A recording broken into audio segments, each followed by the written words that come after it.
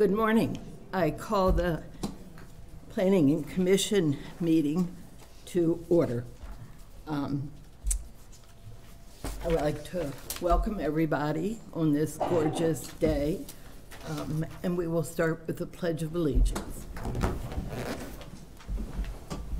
I pledge allegiance to the flag of the United States of America and to the republic for which it stands, one nation, under God, indivisible, with liberty and justice for all.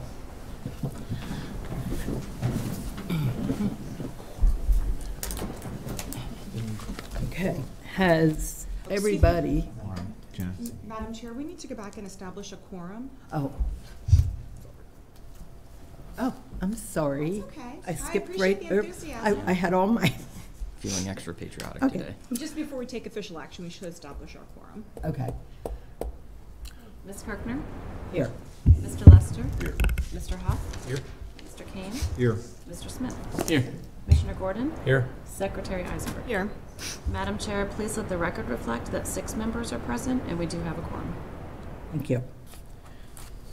Okay, now, um, has everybody had a chance to review and look over the minutes? Yes. Are there Yes. any changes? No, ma'am. Okay, No change. I will entertain a motion. Uh, Madam Chair, can we re- do the review and the approval of the agenda before the review and the approval of the minutes? I'm- I'm bouncing right along today, aren't I? Yeah, that's okay. It's fine. Okay. Can we have a approval for the agenda? I move we approve the agenda for today's meeting. A second. All in favor? Aye. Okay. All right.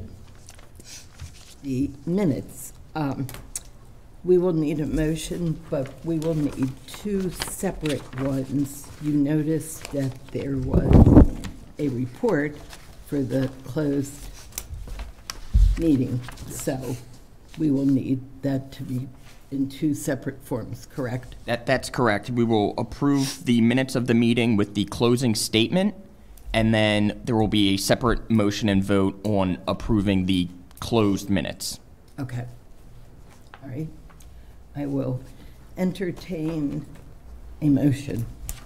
And Then the second. I make a motion that we approve the minutes from April 18th And May And, and May 3rd, I'm sorry. I'll second that. okay. All in favor? Aye. Now, um, uh, can you amend that to include the closing statement? Well, we'll just make a separate, Separate. a separate Okay. motion. I make a motion to approve the closing, or the closed meeting minutes statement? Yeah, statement. A second. Okay. All in favor? Aye. Okay. Um, The, I have one um, thing that I did officially. Um, On May 4th, I Wait, approved, Excuse me, Madam Chair, we haven't gone, um, the next order is commission member reports. Oh. That's okay. just, So, and, and I think, so are we good with all of the votes then? Yeah, For- Okay, we're fine. okay, so we're fine, okay. okay. So commission member reports, I will um, report that I did one official approval, which was the City of Taneytown wastewater treatment plan, the second amended, S twenty zero zero two five, on May the fourth. I approved the final plan. Commissioner Gordon? Uh, Yes, just have one uh, bit of information this morning. We do have a uh, new member of Planning and Zoning, so we're reaching out to them, and I'm hopeful they'll probably be uh, on board within the next meeting. That's good news. Okay. Any other commission members? Nope. Okay. Um, Secretary Eisenberg, Yep. your administrative report. Yes, um, good morning, everyone. Thank you for being here today. And as Commissioner Gordon said, we have new members coming on to our Planning Commission. Hopefully, they will be here by the next meeting. Um, both members are going to be wonderful additions. I, I know them both, and I think we'll be very pleased um, with who's coming on board. So we'll make that official announcement um, when they've officially approved um, uh, their, their acceptance of this. So we're excited about that. Also want to let you know that the Board of County Commissioners has been very busy with um, text amendments. So it looks like four text amendments will be coming before you in July for, we've already had one introduction for one of them, um, and that was for planned commercial centers and the commercial districts. So we'll be bringing that back in July um, as well as adult use cannabis. Um, that law goes into effect July 1 um, for the state of Maryland. So we'll be addressing that in our zoning code. Um, another issue is going to be um, self-storage facilities, uh, particularly bulk requirements where they are in proximity to residences. Um, so we'll be reviewing that. And then finally, looking at um, restaurants and food services um, within the agricultural zone. We've had a couple of um, uh, issues come forward regarding that, and then also there was a slight change to the state law for breweries and wineries with the allowance of on-site prepared food, so not quite restaurant, but um, an additional allowance for various types of foods to be prepared on-site and served, where the old law for that particular liquor license was only pre-prepared food could be served, um, like cheese platters and prepackaged stuff. Now they're gonna allow pizza and sandwiches and some other, um, food preparation, um, in association with breweries and wineries, which are in our agricultural zone. So, um, you'll be seeing those coming in the month of July. Um, And with that, um, we do not have any extensions um, for this particular meeting. And I'm going to have Drew Kay, Drew Gray go over with you the two BZA cases for this month. Thank you, Secretary Eisenberg. Madam Chair and um, Commission members, we have two Board of Zoning cases. First is BZA Case 6387, which is a a conditional use for a contractor's equipment storage yard. The requested variance includes multiple distance variances and an area variance from the one acre requirement to 2.190 acres. This is located off of Maryland 482 Hampstead, Mexico Road near um, the intersection of Gorsuch, North Gorsuch Road. Planning staff finds this request for a conditional use and associated variances is consistent with the 2014 Carroll County Master Plan as amended in 2019 and would not have an adverse effect on the current use of the property and surrounding area with the condition that a site plan be submitted to the Carroll County Bureau of Development review. Second case is BZA case 6450. This is a request for a conditional use near the northern in- intersection of Klees Mill Road and Bartholow Road. Specifically, it is for an outdoor recreational area, an accessory caretaker's dwelling, an accessory nursing school, and all other accessory structures as shown on the drawing that was submitted.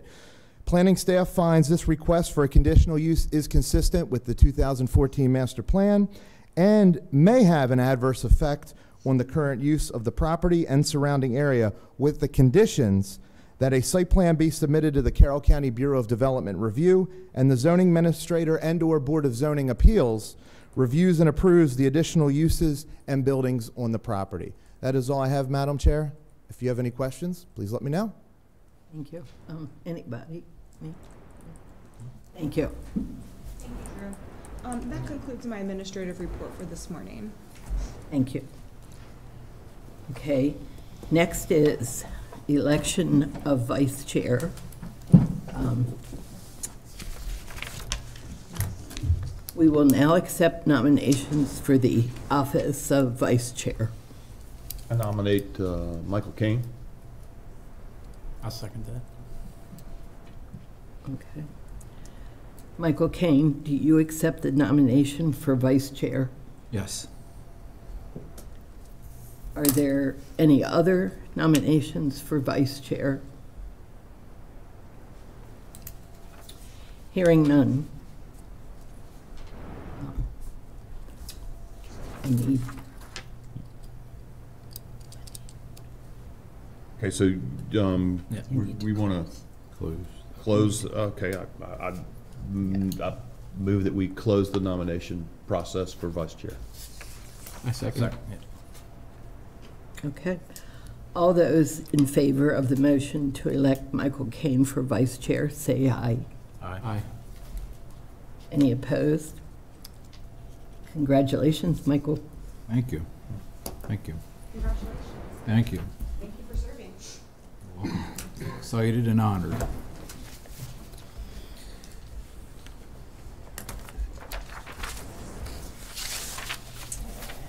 Okay. Moving forward, um, Hannah Weber, Westminster annexation.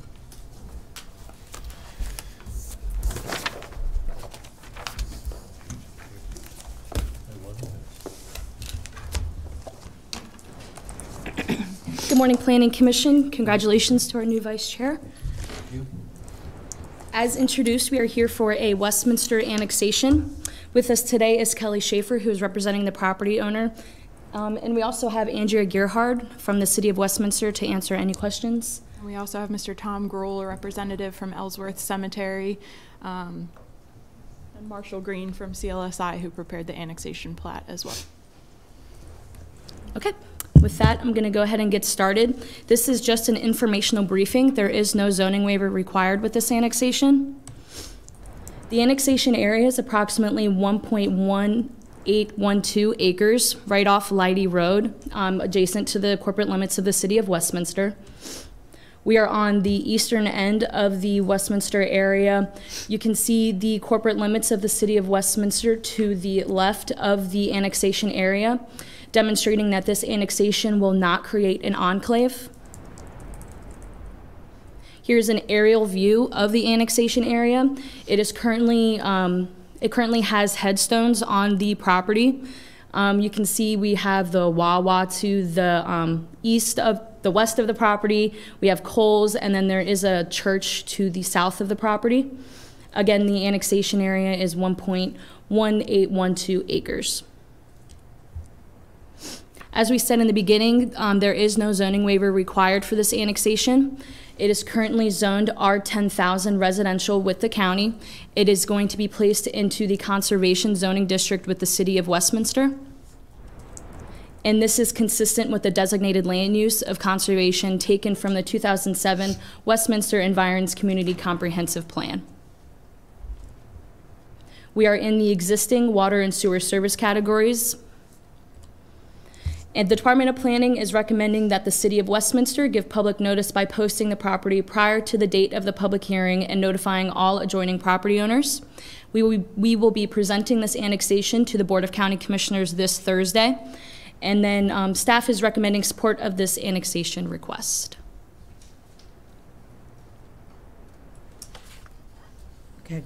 Um, So, do we just need nothing? Um, well, I think it would be good if you did take a motion to, uh, favorably recommend moving forward, um, with the comments of the annexation. I mean, we don't really have a formal, um, role in this, so to speak, but this is a really great annexation opportunity. I don't know if you want to say a little bit about the cemetery. It's really fascinating, um, story, and the Heart of the Civil War Heritage Area fully supports um, the cemetery, and I believe they applied for a grant opportunity too as part of um, being in the Heart of the Civil War Heritage Area for some effort. So I'm going to turn it over to Ms. Schaefer to kind of explain a little bit to you about the Thank you. cemetery. Thank you, Linda. Good morning. Kelly Schaefer Miller, 73 East Main Street, Westminster, Maryland, 21157. Um, as I said at the, well, I don't think I said this, Hannah said it. Um, I am here on behalf of the applicant um, and Ellsworth Cemetery Group, who has kind of um, well, Tom, I'll let you say what exactly what you do, but they manage this cemetery. The cemetery had kind of fallen into disrepair, had been um, vandalized, headstones had been destroyed, and so over several years, and some of you might be familiar with this from reading the Carroll County Times and the Carroll Magazine. They've covered it. Um, well recently um, and kind of explained the history, but it has been maintained, brought back, Uh, the headstones are being repaired. There's been funding provided to um, to provide some headstones for grave sites that did not have them. This is uh, the home of uh, several Civil War veterans. It has a lot of history. I'd also like to quickly say if you follow them on Facebook, they do a, a, an awesome job kind of giving the history of some of the people who are buried there, which is really fascinating to read. So I would encourage everyone to do that. Um, this this annexation excuse me, serves both a symbolic purpose, but it would also, uh, as Linda was saying, this would make this site eligible to apply for a map amendment to be brought in to the heart of the Civil War heritage area, which would then open the site up to additional uh, grant funding eligibility. So that is one of the driving factors for this annexation. We've been working with the City of Westminster. Um, Andrea Gerhart, who is here from the city staff, is going to help through this process as this continues because after an annexation is complete, which hopefully it will be in the next few months, uh, then we will have to start the map amendment process to become part of the heart of the Civil War heritage area. Um, so this is kind of just the beginning, but it's been several years in the making, and so we've kind of developed a little team to, to guide it through this. But Tom's been involved in this for many, many years. So Tom, why don't you give them just a quick overview? I know a quick. I think it's important. This is a really, really cool project, and it's a really, uh, it has so much history.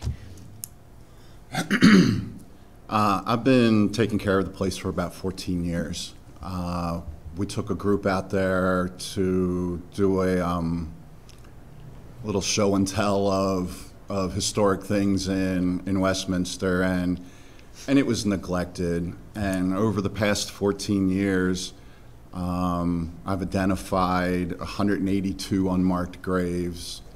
Um, I've applied and received 12 headstones for Civil War veterans from military services. Um, we're, we're working to keep the place, you know, the biggest thing that we're trying to do is we're trying to get people involved, especially the younger generation, to, to understand why this is important and, you know, the history behind it, even, even Ellsworth's name. Um, Ellsworth is from Colonel Elmer Ellsworth, who was Lincoln's best friend in his law firm, helped him get elected the president. When the flag went up in Alexandria, he sent Colonel Ellsworth with his black drill team to go fetch the flag. And as you know from history, and Ellsworth went up to retrieve the flag, the innkeeper shot and killed him. Um, the troops brought Ellsworth back, and Lincoln was so distraught that he had sent his best friend to his death. Colonel Elmer Ellsworth was the first person laid out in the White House, the first person killed on the, the Union side, and seven black Civil War soldiers named the, the cemetery after this first person killed there. Um, there is so much history inside the, the cemetery. Um, Nicholas Paraway, he lived to be 110, seven, day, seven months and five days. He was the first black person allowed to vote in Westminster. So there's a ton of history there. Um, my goal is through grants and things like that is to replace everybody's headstone that was vandalized and no longer has a stone. Um, and to keep this going, we're getting the Boy Scouts involved and the high schools involved so that it doesn't go through these cycles of somebody taking care of it and then it dies again. So being annexed into part of the city, I think would be a great thing for this great historical place right here in our own, our own city. It's amazing. We're happy to answer any specific questions that you have, but I think from the annexation standpoint, this is pretty straightforward. Um, so we would request that you uh, issue a favorable recommendation to the Board of County Commissioners for our appearance there on Thursday. Thank you. Thank you. And Anybody, any questions? I, I, uh, prior to today's meeting, I read about the history and it's fascinating. It, Yeah. it really is, uh, a a good read and educational and certainly fits in with Westminster's history of the Civil War. I mean, it's perfect. It, it makes perfect sense. So, you know, fully support that. I found it interesting that the property zone R ten thousand, it's a Mm-hmm. cemetery, how, how did that happen? Because we don't, have- we don't have cemetery zoning in the county. Oh. So it's just typically whatever the surrounding Okay. is, um, and we don't have like a public conservation zoning district. Okay. So that's why, yeah. Okay. Doesn't indicate development, Oh, just. good, I th- okay. No, no, Yeah, absolutely not. But yeah, I, I, I think it's, uh, it's a perfect, uh, solution to, um, uh, the, the the issues that the cemeteries had, and, uh, good luck with, you know, getting more funding, certainly needed and well-deserved. Thank you. Thank you. Anybody? Pete? So I, would- I I would echo everything he said, and with that, unless there are other comments, I would move that we send this up the food chain with a favorable recommendation for the annexation. A second? All in favor? Aye. And thanks, that's cool, Thank very you. cool, very, Thank very you. cool. Thank you. With Gettysburg being so close, it's kind of forgotten that, Right. you know, other things, there was a lot of other things that happened in this Excuse me, area. Madam Chair, if I can offer, if we could change the order of today's agenda and actually put item 11, the recess now. We're experiencing some technical difficulties, so we need to reboot the system. Okay. Um, We will take a 10-minute recess. fine. Okay, Thank you. Okay.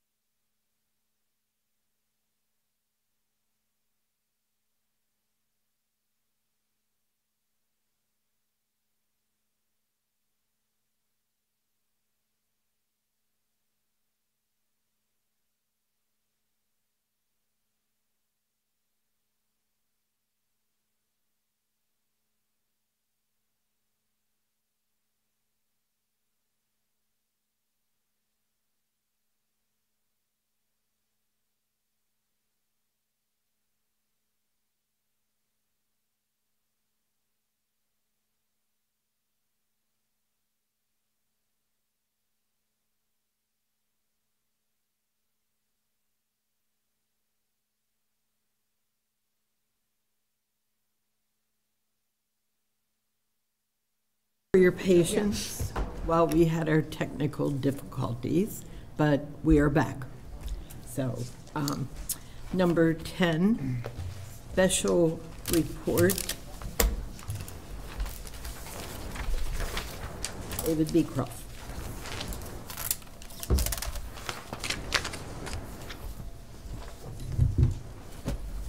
Morning. Morning. Morning. Morning. Good morning.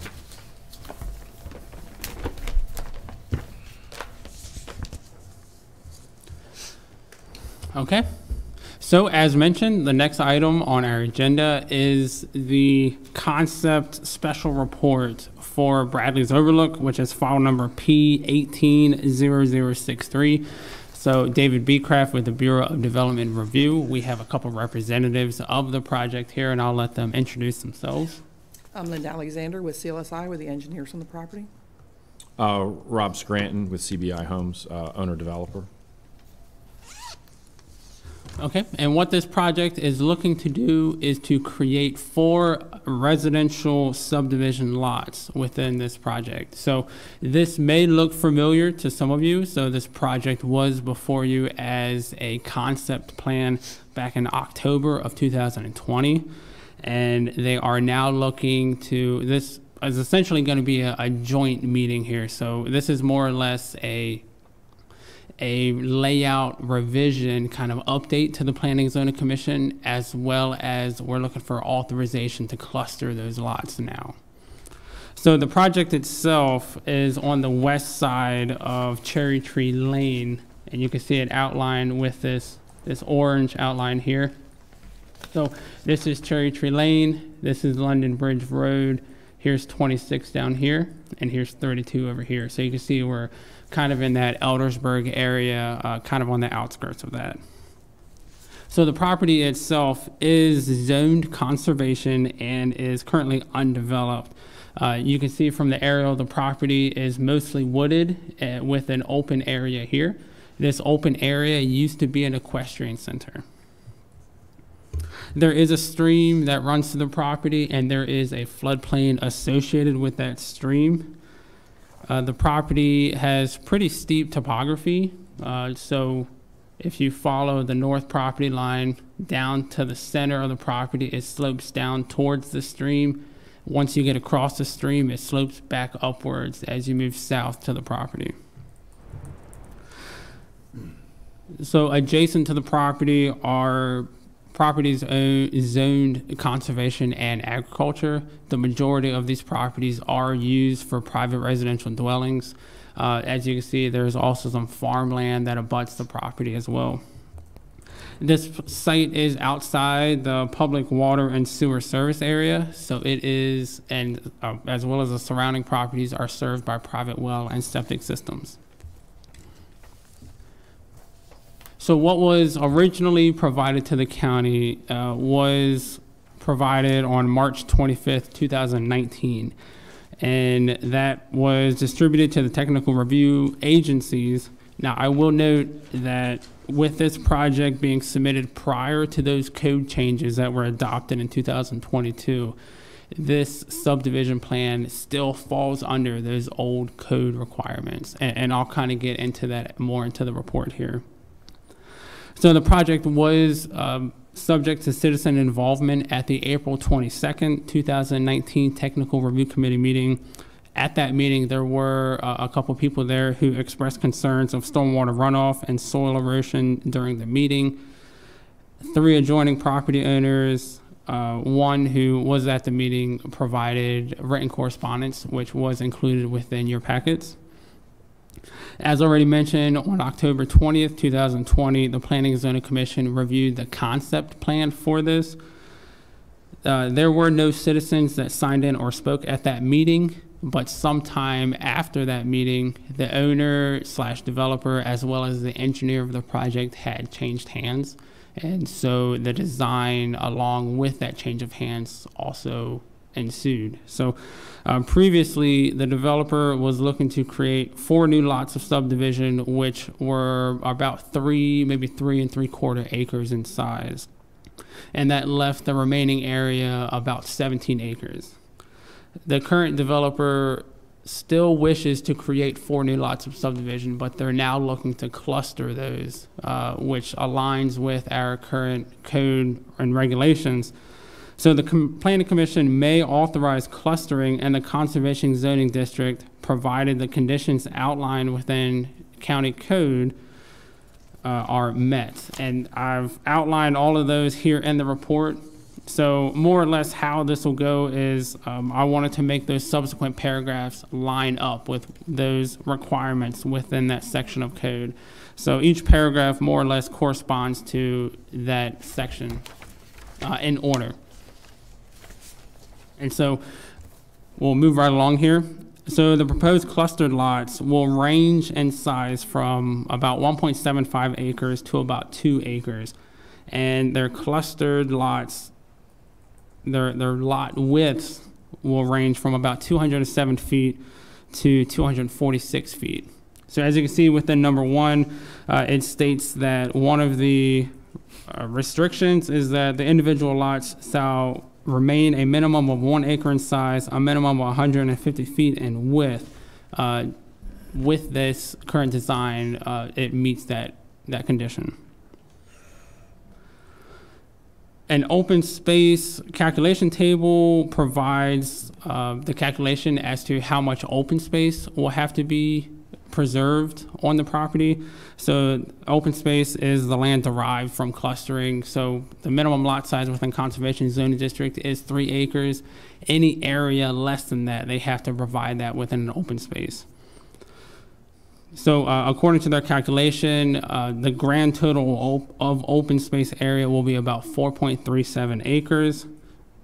Uh, they are providing 4.46 acres of open space to be provided via an open space easement on that resulting lands, which is the leftover area of property.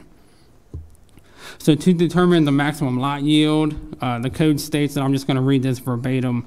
The total number of lots and dwelling units that would be permitted if the area were developed in conformance with its topogra- topographic characteristics and the normal minimum lot size requirements.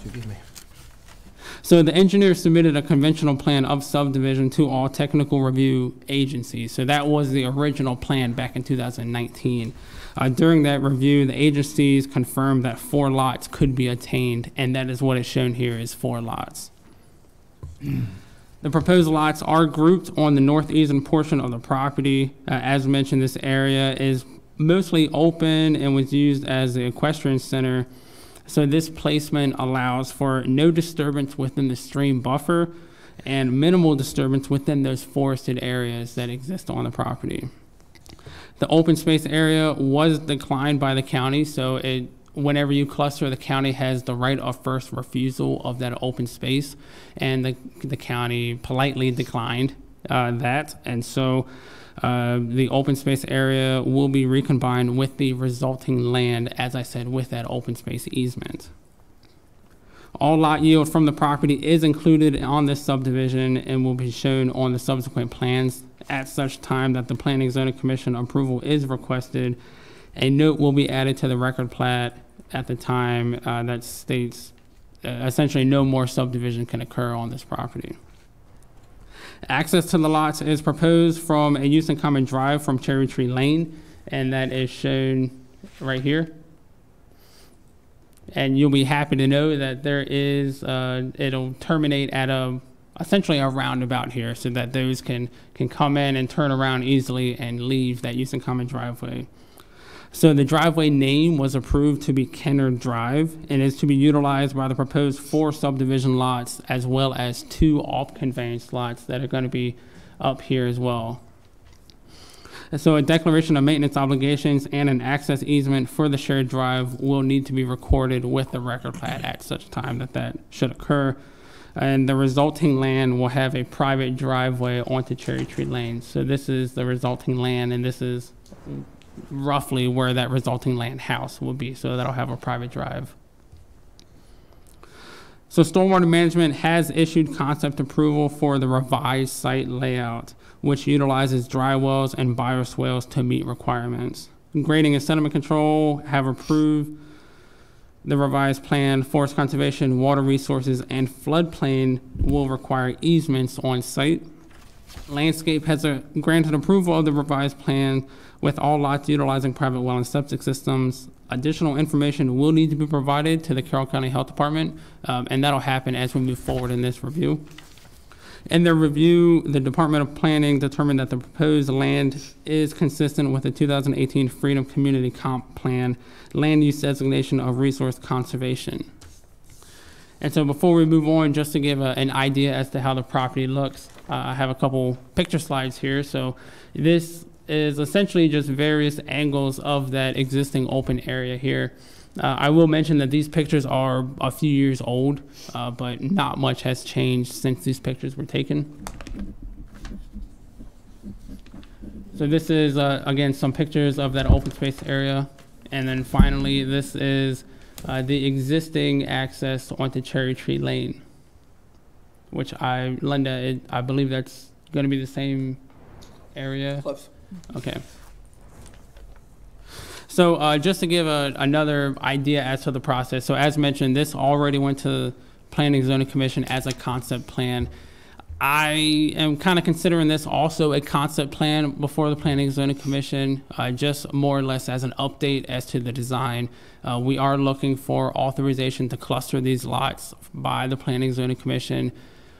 If that should occur, this will keep moving forward in the process and will be brought back to the Planning Zoning Commission as a preliminary plan. And at that time, we'll talk about concurrency management.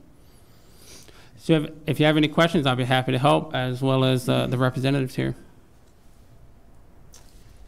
I um, noticed that there is a trash pad site and mailbox, but where exactly on the plan is that looking to be? As you go into the use in common driveway, it'll be on whatever the appropriate side is. That I think it's on the left-hand side because you want people to be able to get in and get out. So it'll be shown on that side. Okay. Will there be, well, I guess. Keep in mind that this use in common um, is not just 12 feet wide either. It's 16 feet. Right. So the pad's a little bit farther over than what it would normally be. So will there be some screening around the um, trash pad site? If we can screen it and not create any issues with the sight distance, yes. Okay, all right. And I'm sure that'll be addressed in the preliminary plan. Um, Any other questions? I guess, David, I, I- I've, I've got two. Are, are we talking about four houses here or seven? Right. So it's a very good question. So with this subdivision plan, they're creating four new lots. Okay. The resulting land, the land that's left over, that's a buildable lot. So that'll be five houses. Within a separate review process that does not have planning zoning commission involvement, uh, they're taking two what they call off conveyance lots. Right. So at the end of this, there will be seven new lots on that property. Okay. Well, I'm sorry, six new lots and then a buildable leftover area on that property. Okay, so, so we, okay, I, I just wanted to make sure, because I heard four, and I'm, I- when I looked at it last night and, and the first time, so I've got seven houses, and I read, okay. All right, and then I'm gonna go back to, are we using the new code, or are we doing this under the old code? Because it sounds to me like we're allowing them, we're giving them some allowances because they were here early on, and we don't want them to have to restart the process. But we're also trying to leverage some of the benefits of the new code. So we're kind of, this is a little bit of a hybrid. So this is solely under the old code. So um, really, the only thing that changed that would affect this with the new code was how how many lots are allowed and how that's provided. So under the old code, they had to show us a conventional plan to prove to us that they can have that many lots. Right. Under the new code, it's just a calculation. You have this many acres, you can get this. So that's the only thing they're doing here is this, the, the accommodation we made where you don't have to provide the, the, the two plants and go through the approval process for both or whatever. Correct. And essentially, uh, be- right. because they already, the original plan was a conventional plan, they weren't proposing to cluster at the time. We just considered that the conventional I plan. understand. All right, I, I appreciate the clarification on that because I was kind of, okay, if, it sounded to me like we were kind of using the best of both, so I appreciate you clarifying that. Of Thank you. course. And I I will mention too, by all means, uh, it is very well possible that they could be put under the new code. But as you mentioned, they would have to start over from the very beginning. don't- I don't want to wish that on anybody, but, um, but, I mean, I don't think, it. I- you know, whatever, you're, okay, that's, I'll be quiet. That's Okay. okay, you don't have to be. Anybody else? What's the uh, width of the driveway to access the homes? Sixteen? 16 feet. 16 feet. Is that, and that's adequate for emergency uh, 12 feet's fire? the minimum. That's the We're doing minimum? 16. And you'll have a, like a turnaround back there. Yes, it has a cul-de-sac. full-blown, the, the, the uh, turnaround that's at the end of this is as large as a cul-de-sac is on a public road. And the newer homes are all built with sprinkler systems and things like Correct. that anyway? Mhm.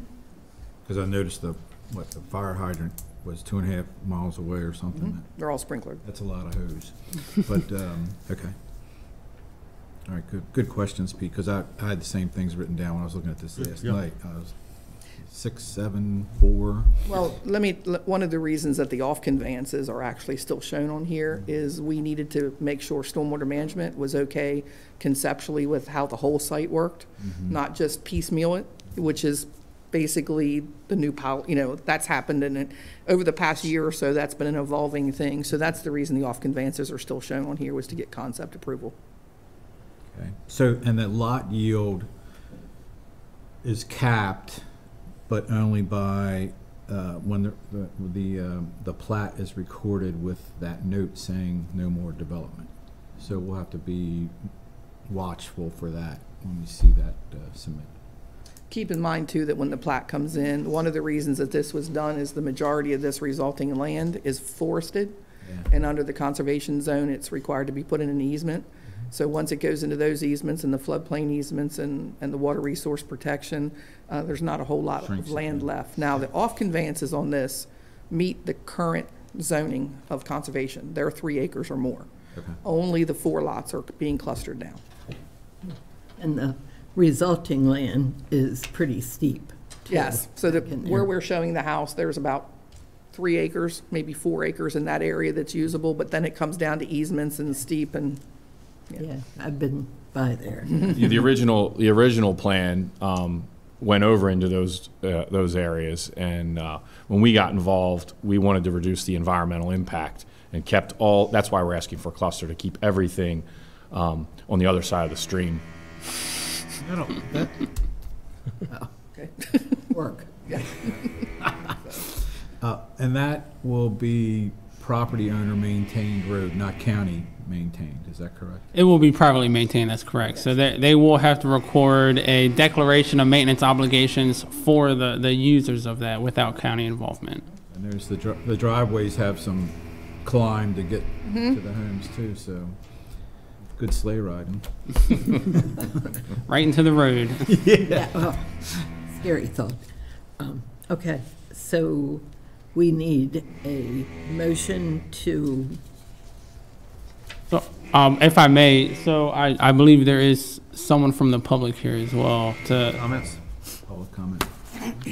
Public comment. okay, public comment. Um, Someone would like to speak on this? If you could please come up to the microphone and state your name and address for the record and uh, this, for this comment item. Absolutely. Yep, I can pass them up. Sure. Hand them to me, I'll take them. Uh, Oh. Walk up to the dais then. What do you want me to do?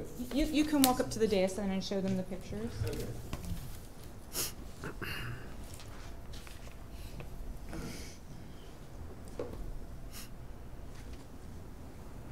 Good morning. Good morning. I'm Ed Derenberg, and my property is attached in Maryland Ag Land Preservation Program. And I have a very bad um, erosion problem. And that is right here. I had Stan Pennington from Soil Conservation go out, I got two letters. Uh, What's happening is, the erosion is getting so deep, I'm losing my fence line. And I have pictures of this. This is from 2019. I'm losing my fence line, and eventually, I'm gonna be on the, which was the Bradley property. See how bad that is? All the water, see, it's a big hill. Mhm, I All the understand. water is going down and destroying my property. There's another picture. Okay, so I just want to understand, the, the erosion's taking place, From the Bradley's top of the, br- the top of this hill. Of course, you- if, if you haven't been there, you wouldn't see the hill. You can't see the hill here.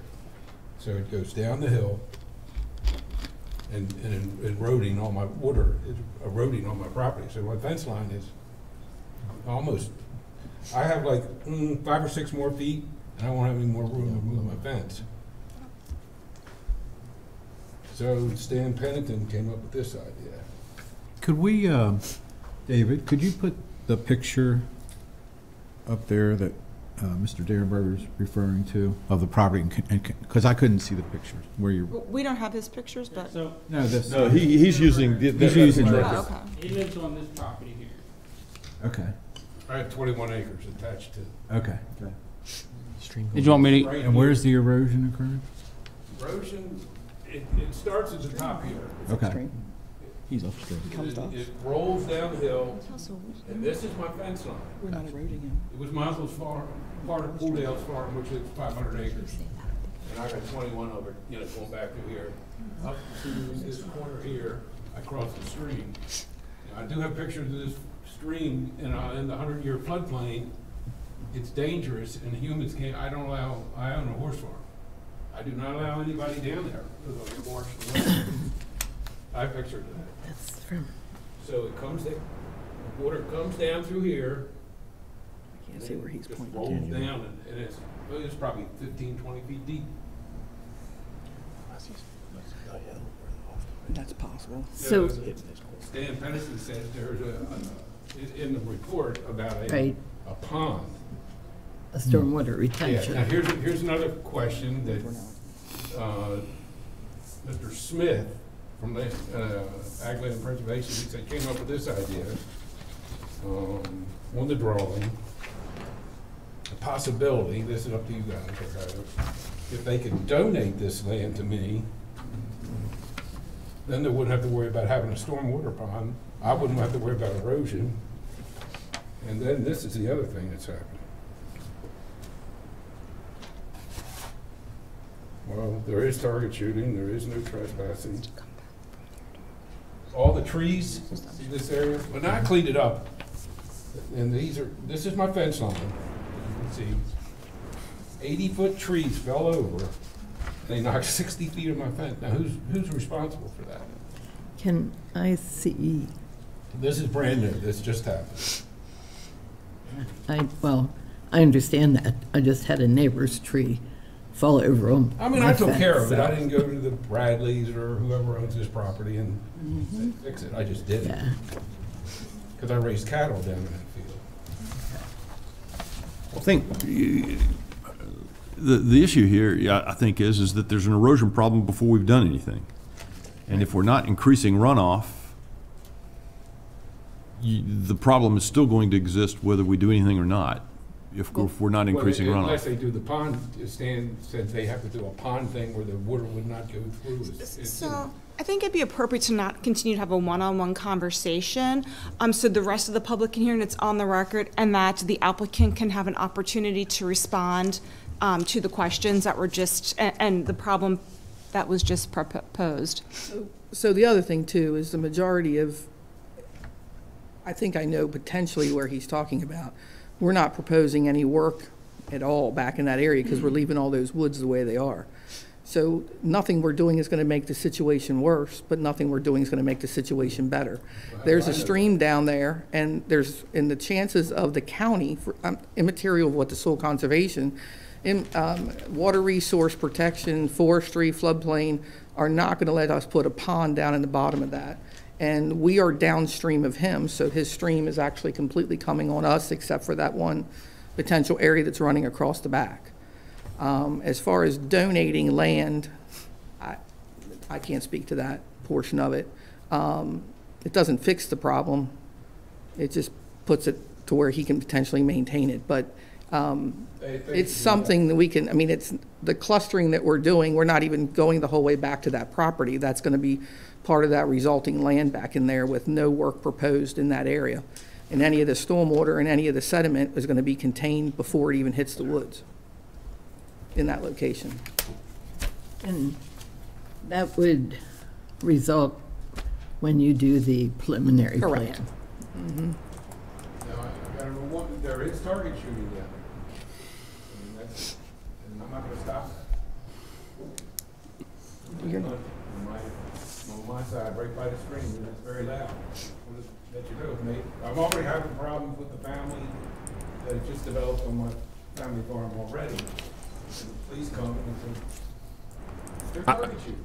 I have a farm too, I'm quite familiar with the neighboring uh, issues. Now, do you want to see anything about the flood, the floods that are happening on this property? Is that not, do you want to see that? We can certainly take copies of them, or the county can. and- I have- I It would probably be better for I'm the, in the 100-year floodplain. You guys want to see this? I think I- I'm going to ask you, Edwin, to go back to the microphone, um, and, uh, so that everybody can hear you when you're talking. Um, Right. So if you could go back. I would think that, the- from our purposes, I would rather the county had the pictures, and then they can share them with us. Yeah, I think the most appropriate thing to do is anything that you want to submit as record for the, for public record is to hand it to Mr. dangerous. I Yeah. So hand it to Mr. Beecroft, and he can make copies and return the pictures to I you. to you years ago, and they went to uh, Brian, Mr. Frock, I think it was. Myron Frock, yeah, he does the stormwater management. Is there anything else from the pile that is yours, sir? Yes. Um, No idea where this We is. have, He's reading over the notes over Michael there. has So- this letter. So, I, you know, I asked the question, you know, that was raised to Mr. Pennington. What, what, are there any, uh, how many of the house lots affect the watershed? And what I'm hearing is the answer is none. Correct. Sorry, Or man, they're in the sorry. We were looking at the pictures, yes. Right. There was only one house that's back that far, and it's one of the off conveyances, and it's at the top of the hill. And the stormwater's gonna be controlled into dry wells coming off the house Right, itself. right. And everything else will be stabilized. Mr. Pennington? Oh. Thank you. This comes, Mr. Pennington? Here. Here's your letters. Thank you for sharing. And thank you, we appreciate it. do they need to see this? Yes. Yeah, they got. Yes, I think if you could Yeah, they should. um, share it with them, and David could possibly You possibly, guys want to sit in the Make back? or copies. Done the meeting, or do you want to learn how this works? We'll, Sir, we'll, we'll review it. They're going to put it in the record. Yeah. Sir, we're still, we're still taking public comment, and this meeting still has to go on, and we have a, other public comment to take for this item. So I, I think we're done with this portion, and we're gonna call some other folks up to see if there's any additional comment, and then you can speak with them at your leisure af- after they're done. Okay, thank you so much. okay. Uh, Any other public comment on this? Okay, Okay. seeing none. um, We would need a request for authorization to cluster. I'll make a motion that we um, authorize the uh, plan to cluster for Bradley's Overlook. I'll second that. Okay. Any further discussion? All in favor? Aye. Any opposed? Okay, then um, the request stands approved. Thank you. Thank you. Thanks. Okay. Uh, We took our recess, so we will move right along. Um, No, stay there. You're, you're, David's next. great.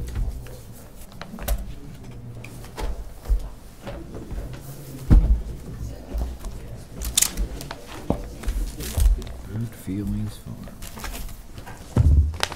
Neighbors don't have good feelings. Neighbors don't have Okay, David, you're up. All right. If you. So next on the agenda is um, a concept site plan which is for Good Feelings Farm, file number S-22-0008. So David B. Kraft, Bureau of Development Review. Speed over here for you.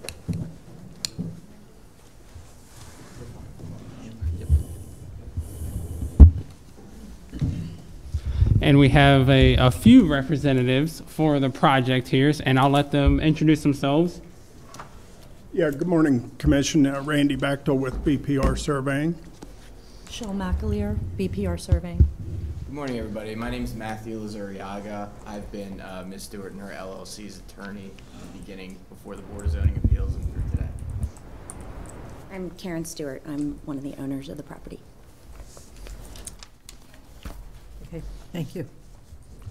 Okay, so this concept site plan is before you. Uh, so the owner developer is proposing and currently operating a country inn on the property.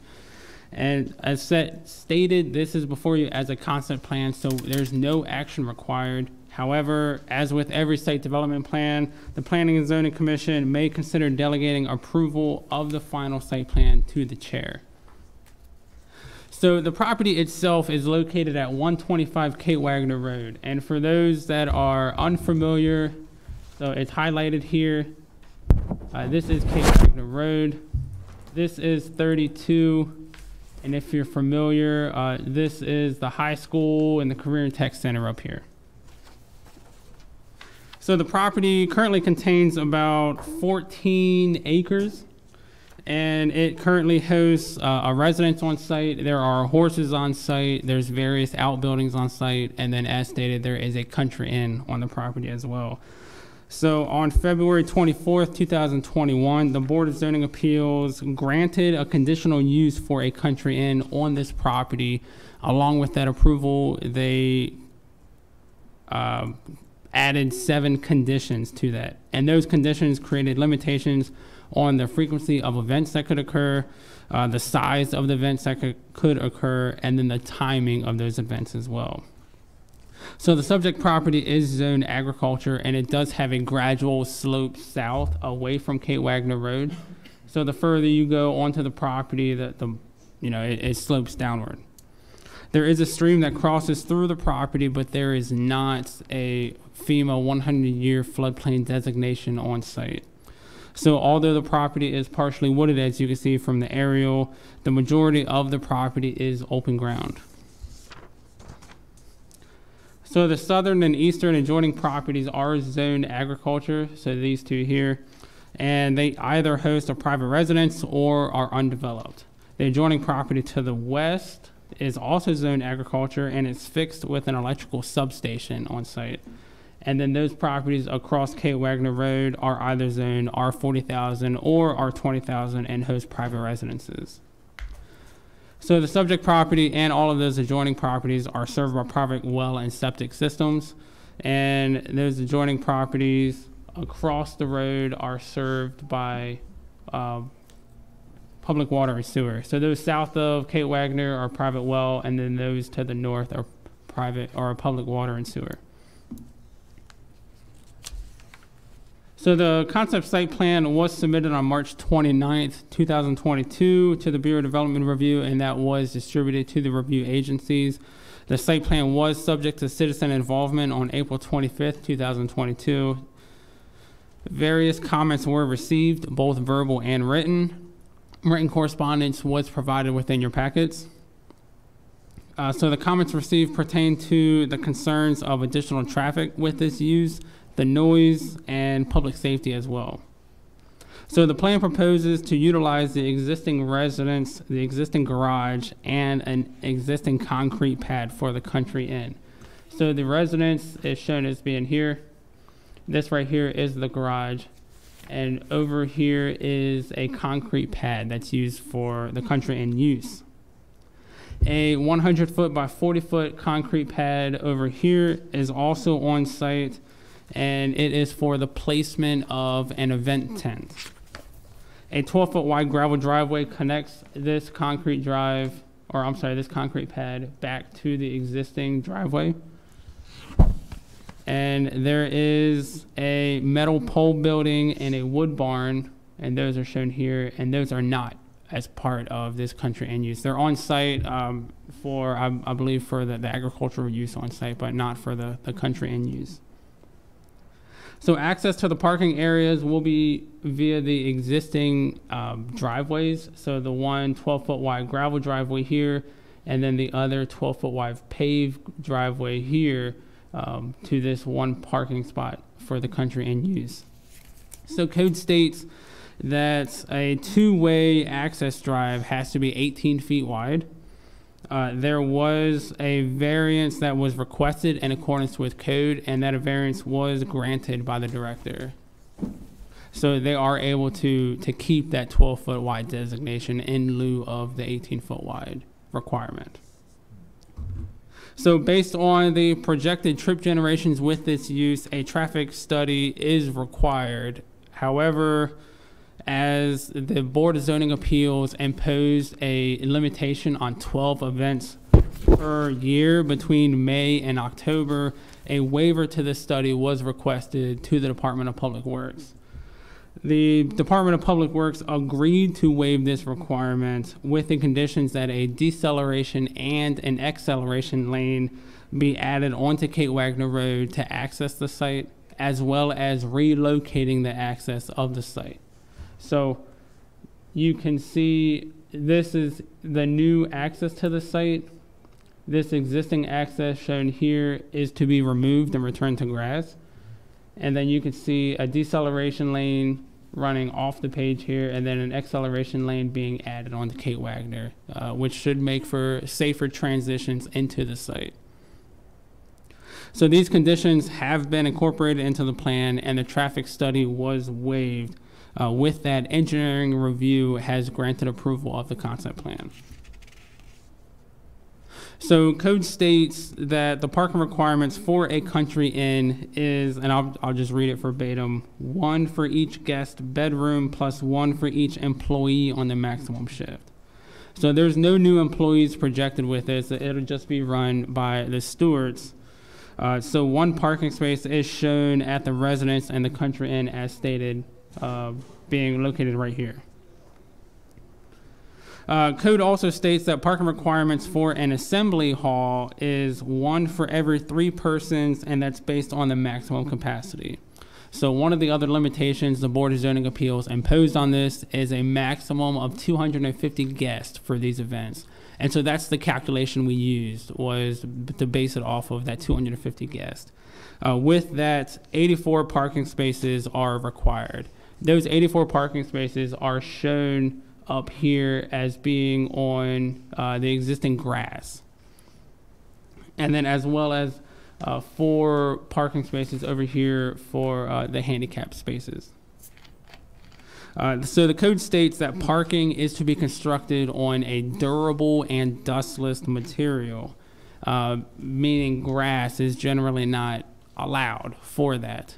However, with um, with the limitations that was imposed by the Board of Zoning Appeals, a request was uh, submitted for a variance to that requirement so that they did not have to provide additional paving for those 84 parking spaces.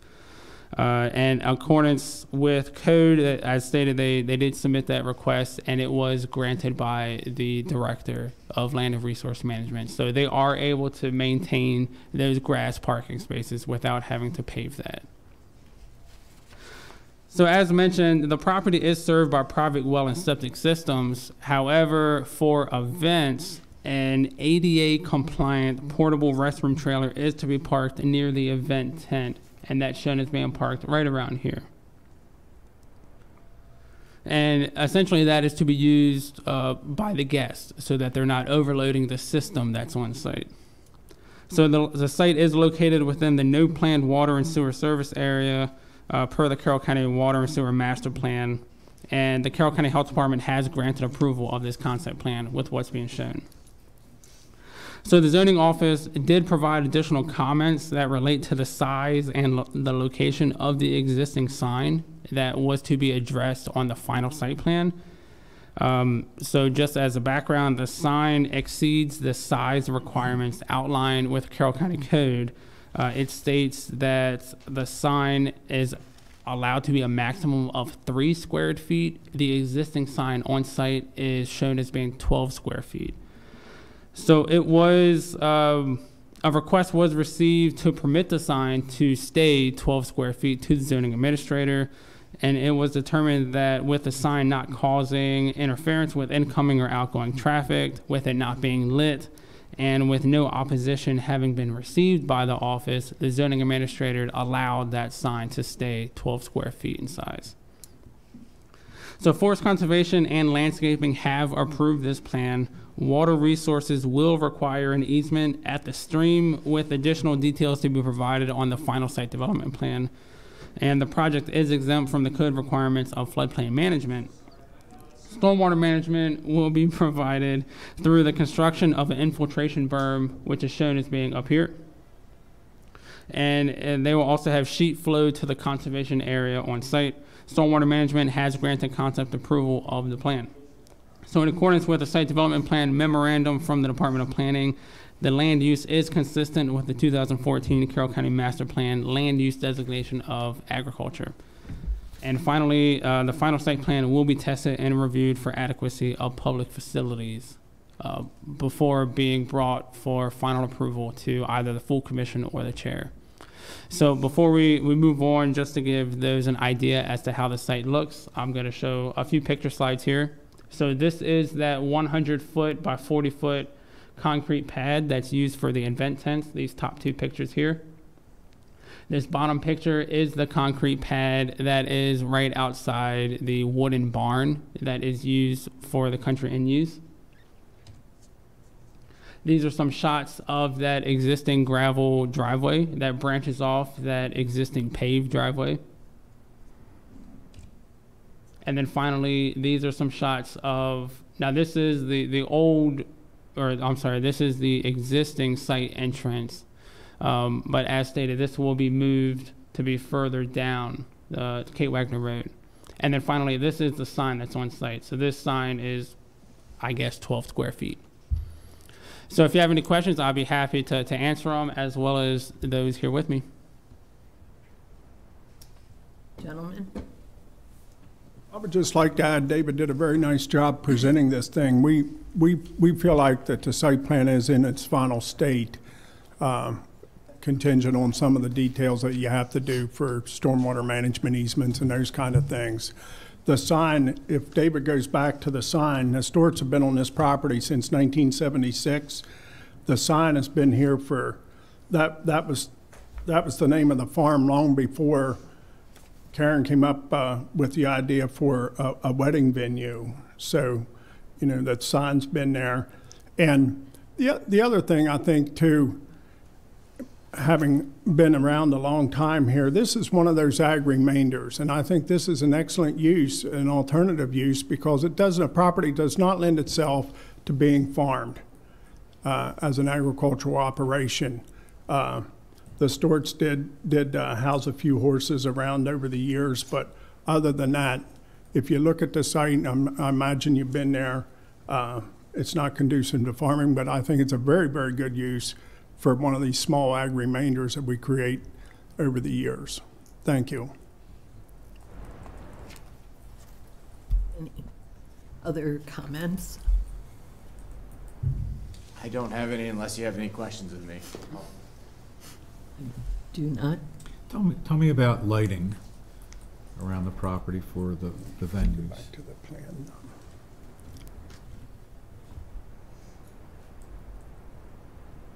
Can you enlarge that any, David, to show them where the lighting is, or? Ooh, that's a good question.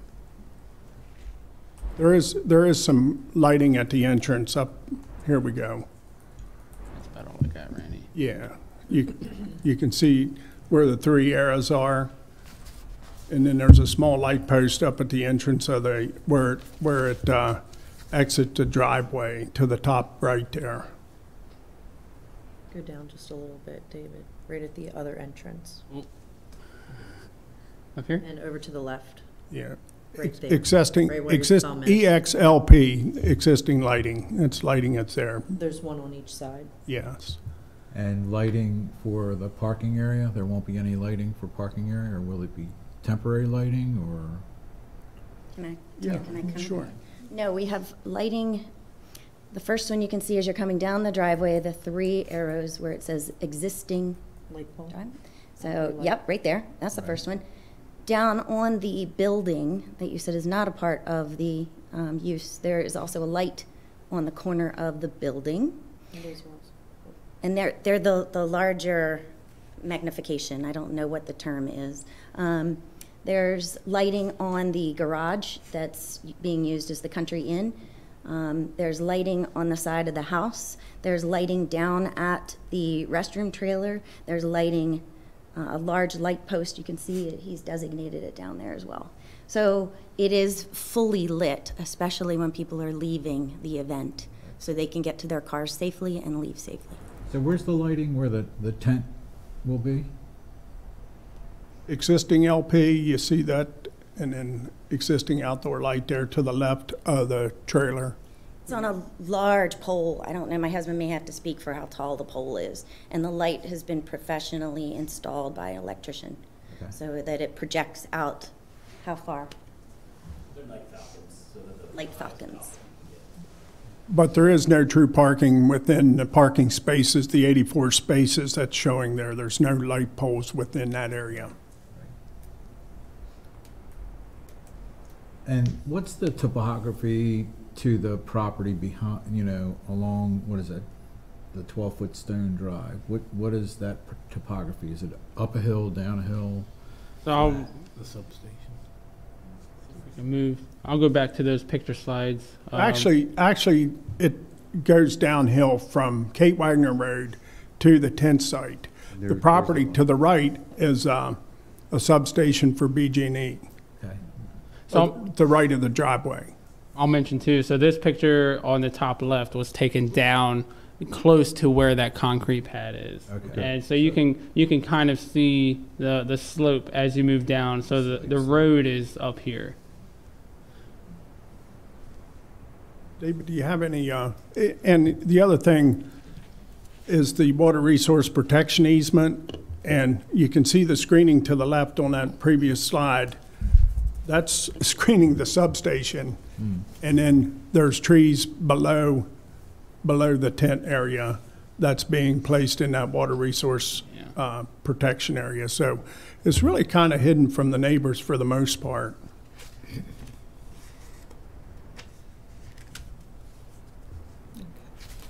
Any other comments from you all? No? Okay. Um, Do we have any public comment?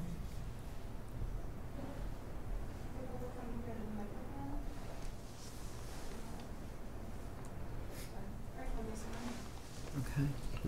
I would, I would just comment that, you know, we've got several properties like this in the county that are in relatively close proximity to residences. And when I read through, David, when I read through your verbiage, I see a couple of related permit violations and that sort of thing, and we don't deal with that. I don't necessarily believe here. And so it, it would be out of the ordinary for me to say that something like that has an impact on what we do here.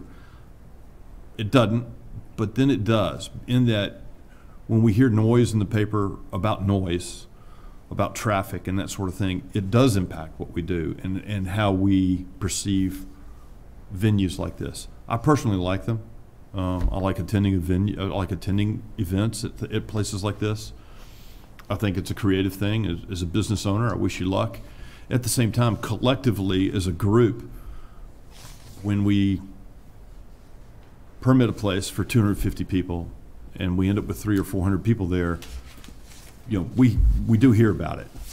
And um, when a venue is supposed to shut down at 11 and it goes to 11:30 because everybody's having a great time, that's great. Good for them. But that's not what we were, we are supposed to allow on those properties. At some point, we're probably going to need a noise ordinance, and we've, we've tried to get away from that because, you know, who's gonna, who's gonna enforce it, right? You know, who's gonna go out there with a meter and say, you know, this, this event's too noisy and that one's not. So I'm kind of rambling here, but I'll just simply say, you know, I would encourage you to, to do what you're allowed to do and, and, and not push the envelope, because if you do, it will definitely impact others who want to do the same, some, something similar, and it may come back to, to, to, to bite you too. Um, and I don't know how else to say it, other than when I read it, I was kind of, um, concerned. Well, I, I do think you've run some wedding venues from there already, correct? We've had 24, yes. Okay. Events. And over the past year, there has not been a single complaint. We stop at 10 o'clock. I have a decibel reader, and I sit at the top of the driveway, so I respect everyone's privacy, and noise immediately stops at 10 o'clock. We only also, I only host 200. You've all granted me 250 um, guests, but we only do 200. It's too many to have 250. So Yeah. 200 is the maximum that I choose to do. And that's in all of my PR and in my contract, so. Mr. Lester, may I inquire, um, not knowing, uh, the benefit of everything that you have in front of you, I've not had a chance to review it. When you utilize the word, um, violation, my ears kind of go up. So I don't know if it's correspondence that you've received from members of the public that might, uh, predate the, uh, last time Ms. Stewart was in front of the BZA, not her initial, uh, application. But just to speak on her behalf here, because that's my job, um, this has been a long process for her where she has taken into account virtually every single comment from a neighbor, uh, whether they've just done it uh, by email or whether they've come and spoken at a hearing or they've requested a hearing that they didn't bother to show up at, uh, particularly about the size of her sign. Um, so she has taken every effort that she can to adjust what actually happens and does, in my opinion, a fantastic and remarkable job to manage uh, this great use. So if there's any specific violations, I, I was just curious if you could point me to that. Yeah, I'd, I'd be happy to, to, without, rather than read it into the record or anything like that, I'm happy to provide you with the information we were provided. And I'm sure David can do it as well. That's fine. It, it's not, it's nothing glaring here, but you know, just when you, when you read something like that, you just, your antennas go up. And so, and not only that, again, it's not this venue, right?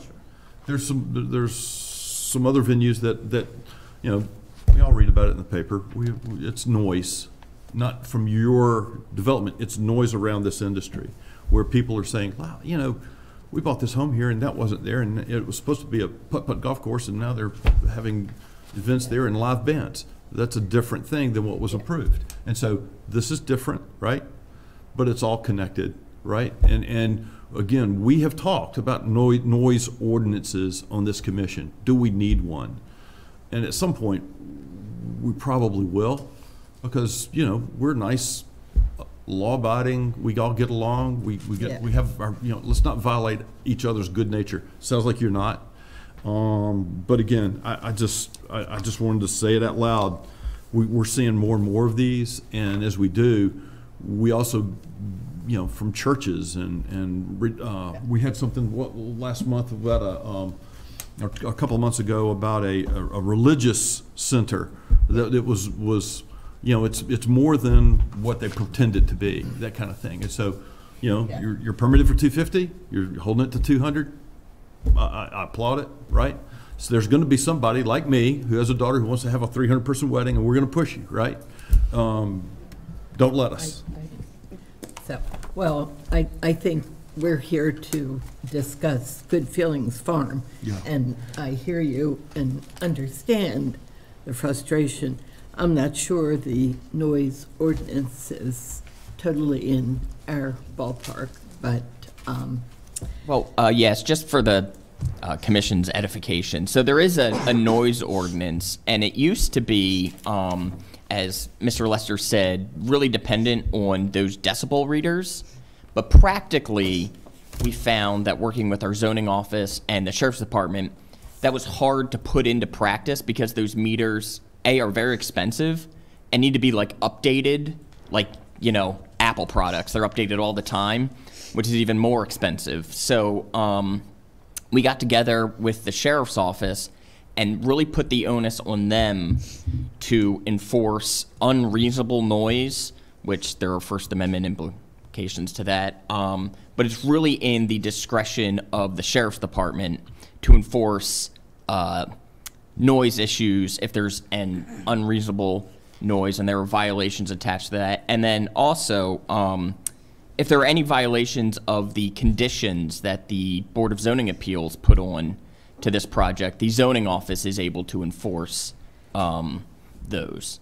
So I just wanted to say that. Thank you for that. Um, So, any other comments? Okay, then we need a motion to, oh, no, do we need a motion? No, it's- Well, we could delegate the approval of the final site plan to you. I would make that motion. I'm in on that. Delegate it to Janice. Is there a I'll- second? I'll second that. Okay. Uh, Any other discussion? Okay. Um, All in favor? Aye. Any opposed? Okay, then, good luck to you. Um, I look forward to seeing the final plan. Thank you. Okay, thank you very much. Thank you.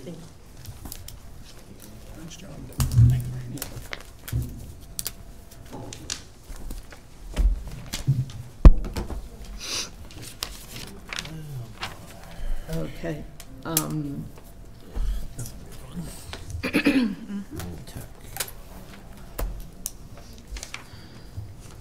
So, Kirsten Marple, come on up.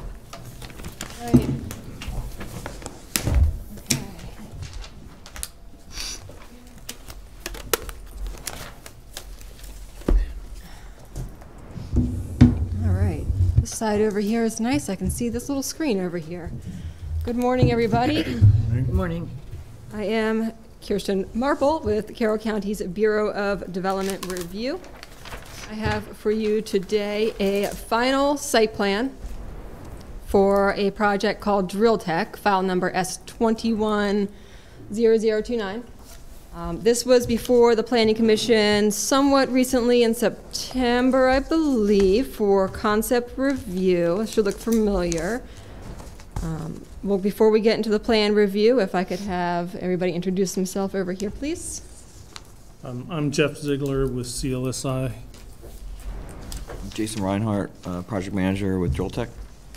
You very much. Okay, so yes, this plan should look familiar. Um, We saw this recently for a concept review, and at that time, it was requested by the Planning Commission that it come back for final review before consideration of approval. Like I said, this is Drill Tech. This is a site located in the northeastern portion of the county. It's this chunk of red right here. It's just outside the town of Manchester. You can see the town limits is this uh, fuchsia line um, that borders the property. This property is not proposed to be annexed. This property is in an annexation um, eligible area, but it's not within water sewer service area, um, and it's being processed under county regulations. It's uh, 16.5 acres there is the site. Bring it in here. We're on the east side of Route 30. The site's currently undeveloped.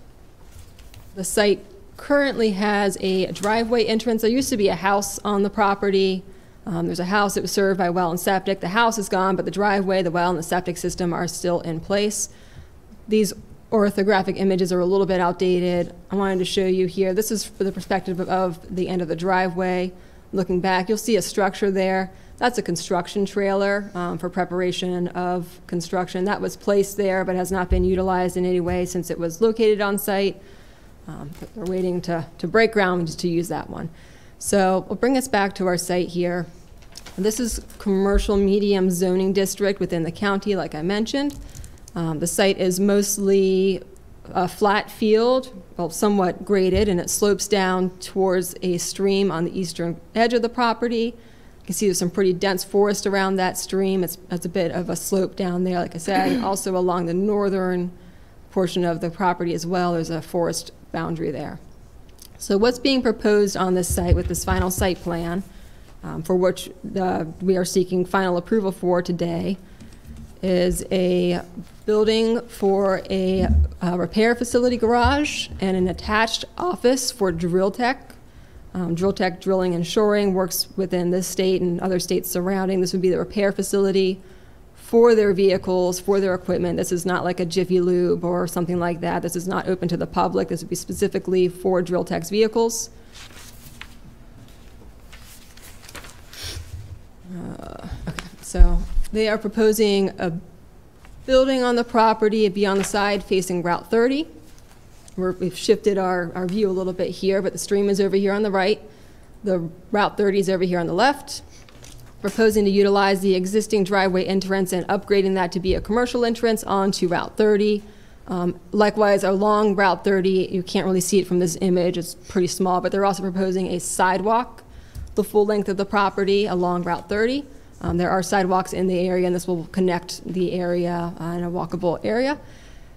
So coming off the full access driveway here to enter the site, the area will be gated as well, with fenced and gated with chain link, and then you'll come into the parking lot area, 24 parking spaces, which meets and exceeds the 22 number of parking spaces, which is the minimum requirement. The parking wraps around the back as well, which also leads through um, drive-through garage entrances for the repair facility.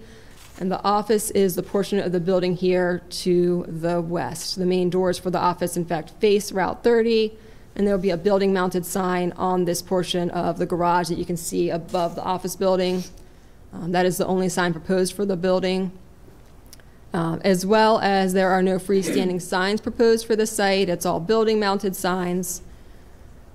And the photometric plan that's provided shows that that light is limited to um, within the boundaries of the property. Shielding has been provided, in fact, for, or redirection of the floodlight, rather, for a light that previously on the plan that we looked at at concept, I believe shined across the street. We had received uh, calls from um, neighbors over there. So that's the basics of the site layout. I don't want to hop around too much, um, but like I said, you had seen this before in September for a concept review. Um, Prior to that, it was also before us for a technical review committee meeting. And throughout the duration of the review of this project, we've received quite a bit of public inquiry, um, quite a bit of questions and concerns from neighbors and concerned citizens, the town as well. Um, There's quite a bit of a packet there that you received to review prior to this meeting that was inclusive of that. Um, There was also an email that was sent to the Planning Commission last week and today, um, following up with other concerns and questions that public members had. We'll touch on that a little bit here as we go through the more technical portions of this project.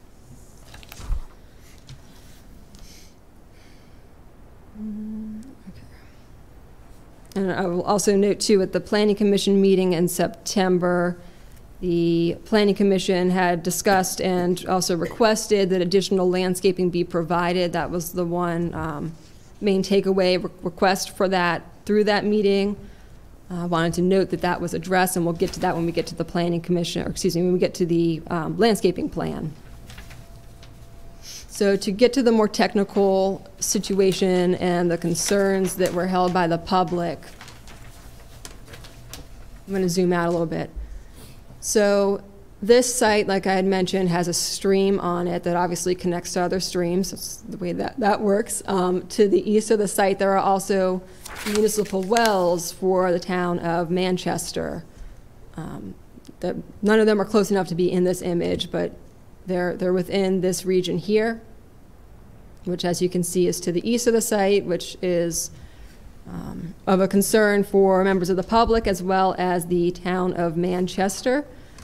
So I wanted to bring that those concerns were brought up before we get into the stormwater management system here, because I'm going to go into a bit of nitty-gritty detail there, because it is important for this site. There was a lot of attention on the stormwater management system for this site. I'm going to describe that in some detail. So there were concerns about runoff from this property, especially considering the use being a repair facility, potentially impacting um, the quality of the streams, particularly because there is a uh, active population of I think it's brook trout, um, a, a, a fish on that, yes, native brook trout that's active in that stream there. Um, that was of a concern, sensitive species, as well as, of course, the proximity of the municipal wells in that area, and the property that the wells are on is also a public park that the town maintains. Um, so people like to enjoy nature there and didn't want to see it damaged by any potential uh, local development. So this project here, it's a repair facility, and the Maryland Department of Environment classifies different types of projects in different ways, and there's different regulations applicable to those projects. A repair facility like this is considered what's called a hotspot. Um, it's understood that there's a potential for, that's a greater potential for pollution discharge than would be on some, some other certain types of sites. Um, so there are special regulations for hotspots.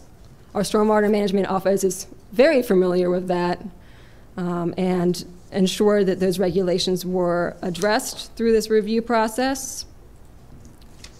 So there is quite a bit of detail with the stormwater management. I wanted to start on this page here because this shows you where the parking lot's going to be and the repair facility. This also shows the grading, and I know it's hard to see because there's a lot of lines. There's going to be a good bit of grading on here because what's being proposed is a swale system that conveys water to a underground stormwater management facility.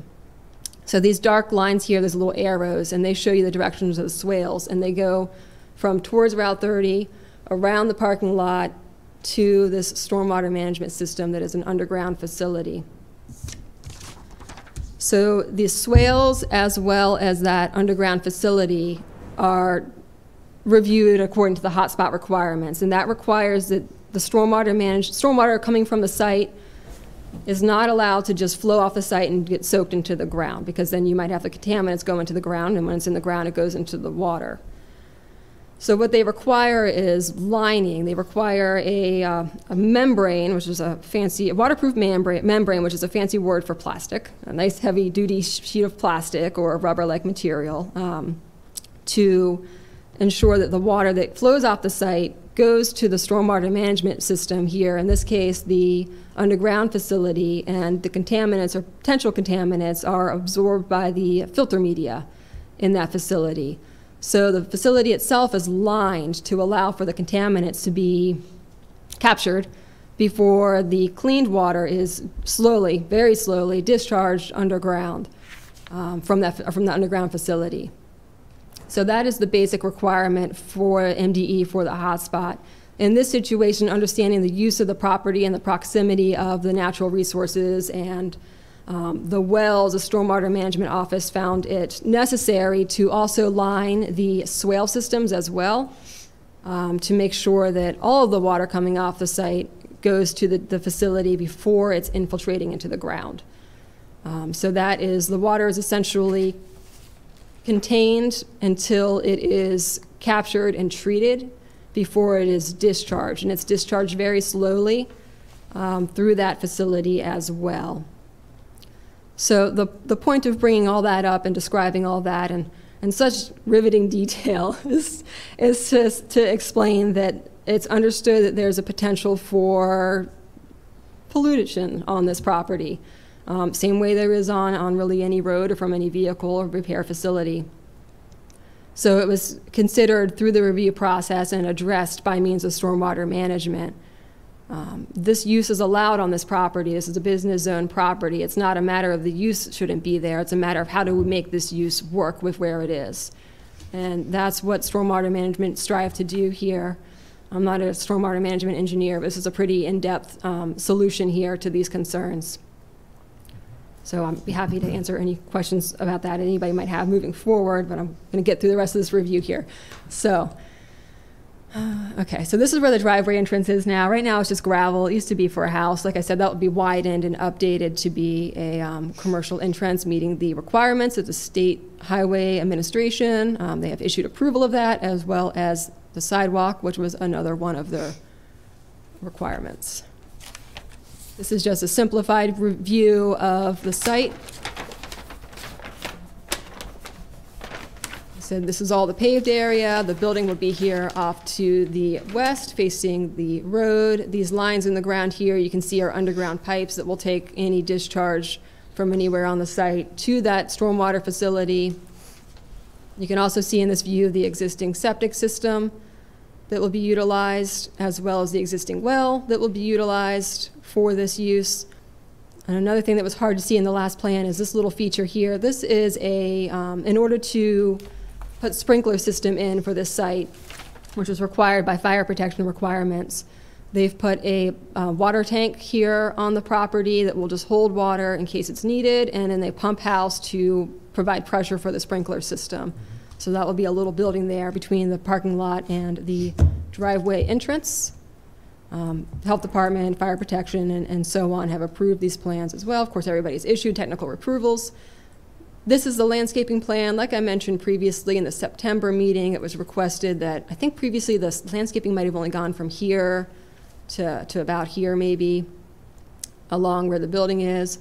It was requested that additional landscaping be provided, and that has been provided. Now, landscaping now stretches from the gated entrance all the way up to the north. We'll get to it in the next page, but this landscaping will actually join in with a forest conservation easement area. So you'll have the woods, then landscaping, then the gate, and then more landscaping down here on the south portion of the property, um, providing screening from the adjacent commercial use that's present there, um, as well as there's some residences back here, as well as the public park that additional landscaping will be provided in that area as well to provide screening.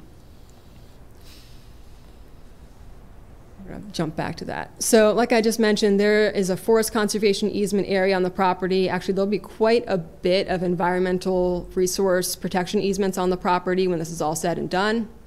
This forest conservation area here is existing woods, and there's some honeycomb areas here, here, and here. And that honeycomb simplifies that they'll be planting new trees there as well as part of that conservation, ea- or forest conservation easement.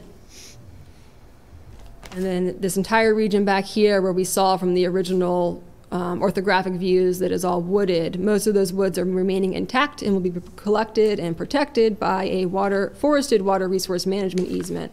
So that serves to protect the stream as well as the trees in that area. Um, There's a, a fair bit of acreage there. I think it's 3 point, 3.8 acres for the water resource protection easement area, which includes the trees, as well as an additional 1.2 acres of the forest conservation easement only up along this northern boundary here. And I think that about covers it. These are the renderings of the building. Like I mentioned, this is what will be facing Route 30. Uh, This will be the view when you first come in the driveway and look to your left with the office building facing Route 30, and then the opposite views as well. So I would be happy to answer, or try to answer any questions anybody might have from the commission, and of course, the public as well. Thank you. I have a question. Um, the, the rainwater off the roof, is that also going into that storm pond? Yes, everything is handled through there. Um, I can't see quite the details. Perhaps um, Jeff might be able to provide details as to exactly where the storm, the downspouts go. So, so the downspouts dis, discharge right on top of the blacktop, from, you know, from the roof onto the blacktop. But as Kirsten mentioned, there are drainage swales surrounding the entire property um, in front of the building along Route 30 that conveys all the runoff into the submerged gravel wetland area, as well as to the south um, that wraps around the, the southern part that drains everything to it. So it's not a direct connection from the roof to the storm drain system, but the entire parking lot and paved area gets to the submerged gravel wetland area. Because that submerged area, I mean, what kind of infiltration does it have? Because it's lined with plastic, so. Right, that's the, that's the, um, so the Maryland Department of Environment does not allow for infiltration from sites that are considered hotspots. And that's direct infiltration, like when the water runs off your driveway into your grass, right? So the way this is handled is all of that water runs into this, the swale system and is conveyed to this treatment basin, which is filled with quite a bit of depth of filter media of various aggregates that collects the pollutants there. And there's a maintenance process for all that too, um, that the developer is responsible for, the owner is responsible for, and that our stormwater management office inspects on occasion for that filter media. So what happens is the water, instead of just infiltrating right off the driveway, goes into the swale system, goes into the filter media, pollutants are captured there, and it filters through to the bottom. Like if you have a, a water pitcher filter, it's just like that. So the wa- dirty water goes in, it goes through this filter media, the filter media holds the contaminants, and the clean water comes out. There's a little spout down there essentially that then will discharge that clean water slowly back out into the wild world. Yeah, my, my only question would be, why wouldn't you keep the clean water clean coming off the roof? Why wouldn't you treat that Mm. separate, just so you have that much less running through the media? Interesting. I think that that's a that is a good question. I think that at this point, the way this project is handling the stormwater, it, it does get treated. Yeah. That's a good question as to why why further burden your system. Um, maybe a good way for a developer to, to handle their stormwater in the future. But this does meet the requirements that are imposed for what's being proposed here. But I, I see where you're coming from. It's a very good point. Any other comments from Jeff or owner? No, I can answer any questions you might have, any further questions.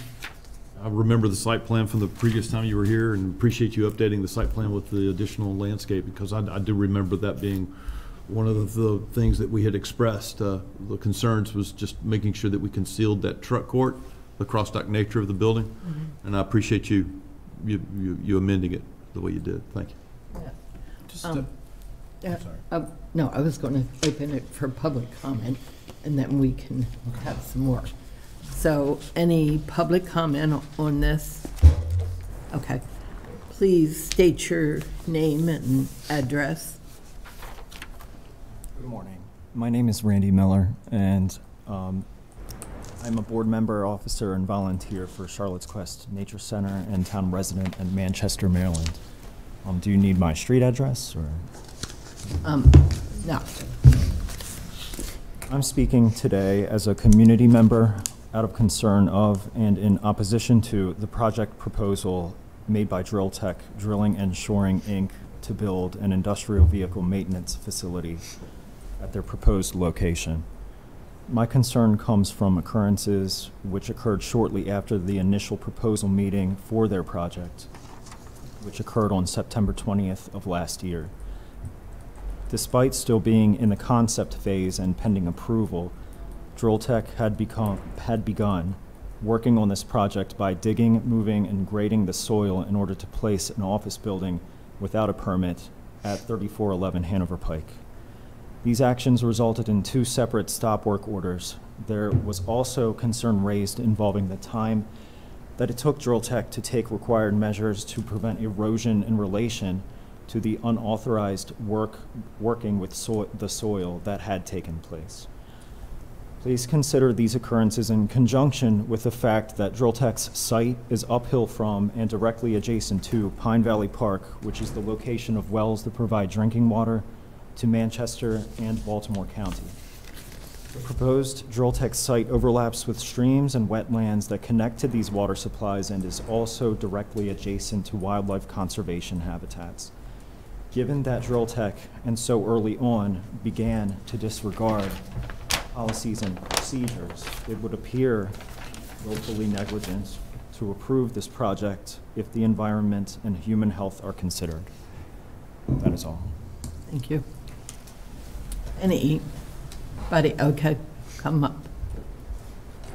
Yeah, my name is George Hutman. Uh, have a degree in environmental planning.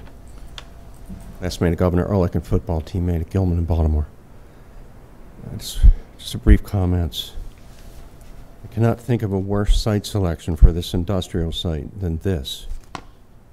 Route 30 in the Manchester area has some of the worst traffic congestion in the county, with no hope of a bypass, and a failing intersection just south with Route 27. Northbound traffic accelerates downhill from Manchester, increasing the risk of collision with large, slow-moving trucks entering and leaving Drill Tech. It is not a flat site, it is sloped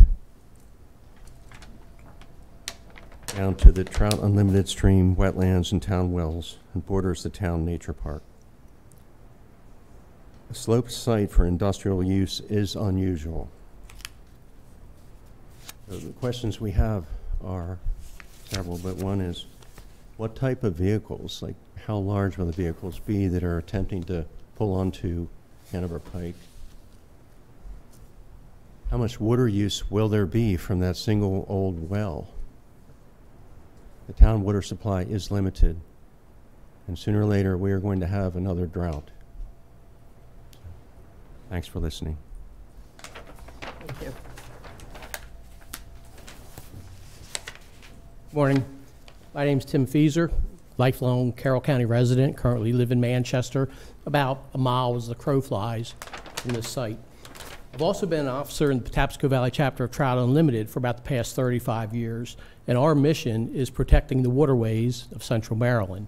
And we are no stranger to the folks of uh, the Water Resources Departments of Carroll County and, and of the state uh, DNR and, and um, MDE that a facility like this is even proposed or, or considered for a site like this, I mean, it's almost the poster child of what should not occur on a site like this in a sensitive area. Um, if down the hill, as, as has been mentioned, is a, a stream, and that stream is a tributary of the south branch of the Gunpowder Falls, which is identified by the state of Maryland as a tier three usage uh, stream with an existing population of native brook trout. Which doesn't mean a lot to a lot of people, but it, it does to us. Um, brook trout are an indicator species. If brook trout can live in a stream, water quality is good. If brook trout vanish from an existing habitat, something has happened and the water quality is, uh, is suffering. We've had discussions, when I say we, Patapsco Valley Trout Unlimited, have had discussions with the county and with the state over this particular project, and also other projects that kind of fit this same mold across the state. Uh, DNR and MDE are, are actually currently looking at the, the, the kinds of stormwater management systems that are proposed here, feeling that there may be something better. Um, and, and we know, I know, commercial industrial development is such an asset to the county. I used to work in this building. I know what the ratio of industrial to residential. Carroll County is way out of balance. We need, you know, the tax base for sure. But we really need to look at, is this the right place, you know, for this kind of, uh, of business? Um, At the very least, we would like to see the county, uh, Maryland DNR, MDE, go back to the drawing board and look at this particular site and see if there's not a better, more efficient way to handle, you know, the stormwater. Um, Not saying these folks can't develop on this property, but maybe there's just a better way that they can do what they want to do, the environment can be better protected. So thank you for listening. Thank you. If I could speak to that final point, um, we received the email that Trout Unlimited had sent that was sent to the Planning Commission, um, and these were the, the topics that were discussed there. Um, so it's my understanding that to that final point about going back to the drawing board, talking about other options for a site like this or this site in particular, um, it's my understanding that when when this site is submitted through the state for a notice of intent, and that's something associated with the grading process, okay? So that's required for any disturbance um, over, I believe, 30,000 square feet. It's a a significant amount of disturbance on the land, which this property definitely achieves that, so a notice of intent is required to be submitted to the state. The state will then look at that project at that time, specifically that project and what's being proposed there, and perform a review at that time. Um, So it's my understanding that that is something, that this particular concern with regarding the tier two and tier three water reviews, that's also handled specifically by the state at that time. Um, If something were to happen through that review process that changes the site layout to the point where, well, the layout's changed, that might trigger a need for this plan to come back through the review process with the county. It would have to be discussed and determined at that time how that will be handled internally here.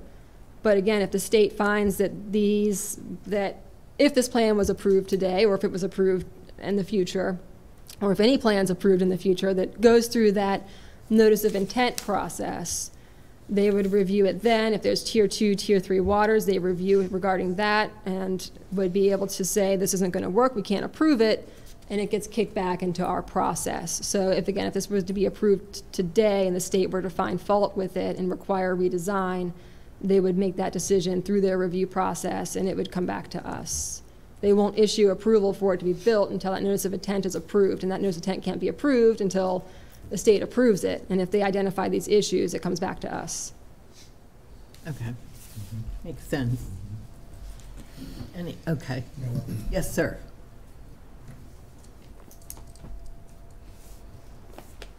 Tom Smith, resident Manchester.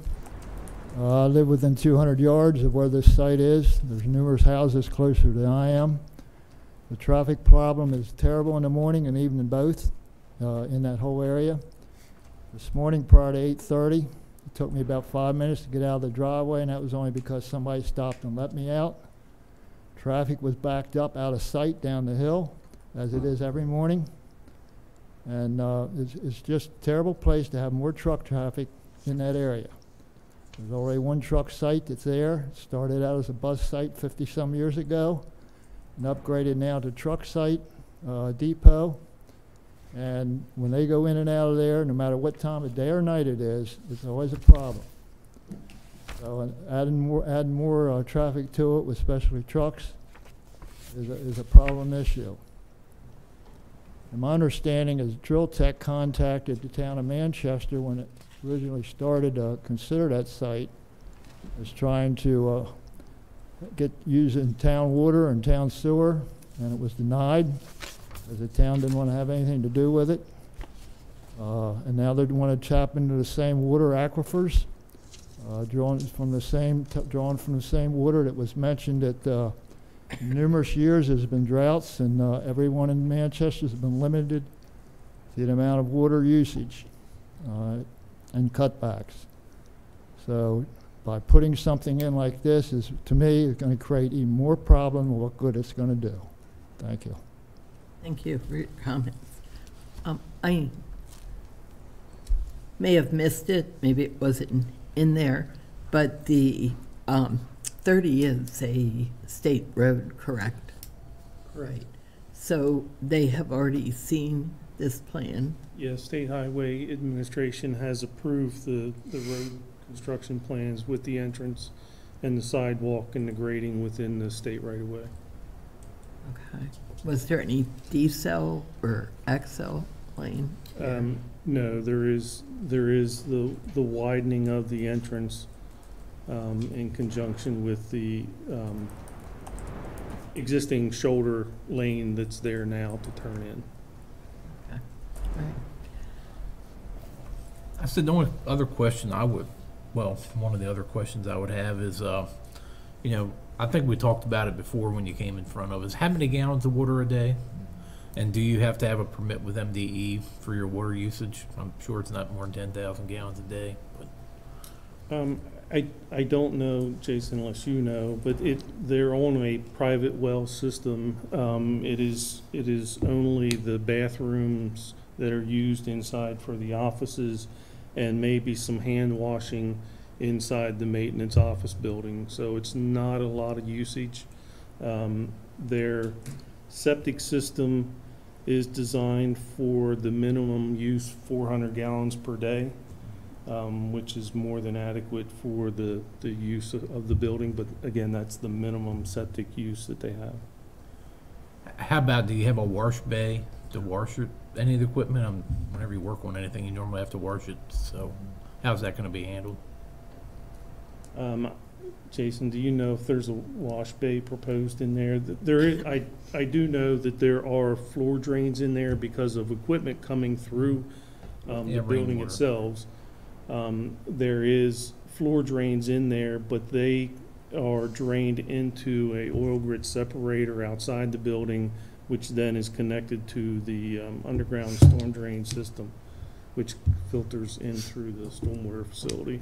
And I- if I could, I recall in discussion we had in a meeting recently, um, it was noted in the planning commission report that the county, and the developer, and, um, the engineer, and the town of Manchester met to address the town's concerns, um, regarding the well and the, and, and the stormwater essentially, the stream and so on.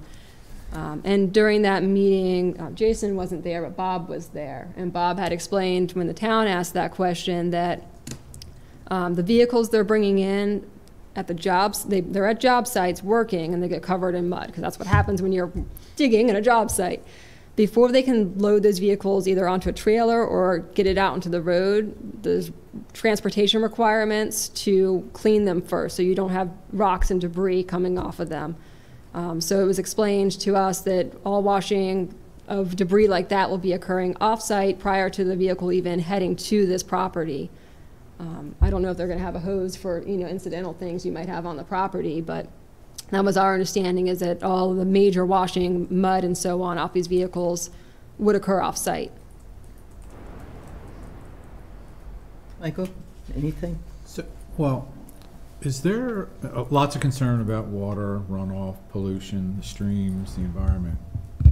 Hear that, and and uh, is there a way that we can add to the recommendation that uh, you know Kirsten mentioned that the state will go through that process of of um, you know the Department of Environment will review and may possibly update because technology's changing all the time. Is there a, way to add to the recommendations that this, it's, this would be okay as long as the state standards are met?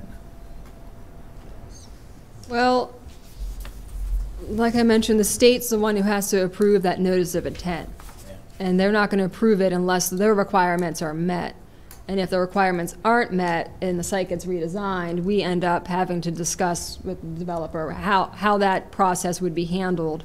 And if they pursue a, a site plan amendment, obviously, we'll, we'll come before the commission again for approval or, or the chair So or it's whoever kind- that it's kind of built It's in. built in. Yeah, any, any, any grading project that disturbs more than an acre, um, not only has to go through the local Tim Hare grading permitting, um, but it also needs a notice of intent, which is issued by the Maryland Department of Environment.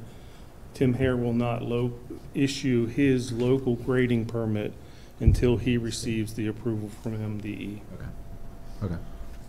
Good. And I would say that there's always gonna be better technology. So, I mean, you can't say, oh, there's something gonna come down the road. There's always gonna be something coming down the road, so. Current best available technology. I agree. Pete, anything? Nothing, nothing else. Stephen?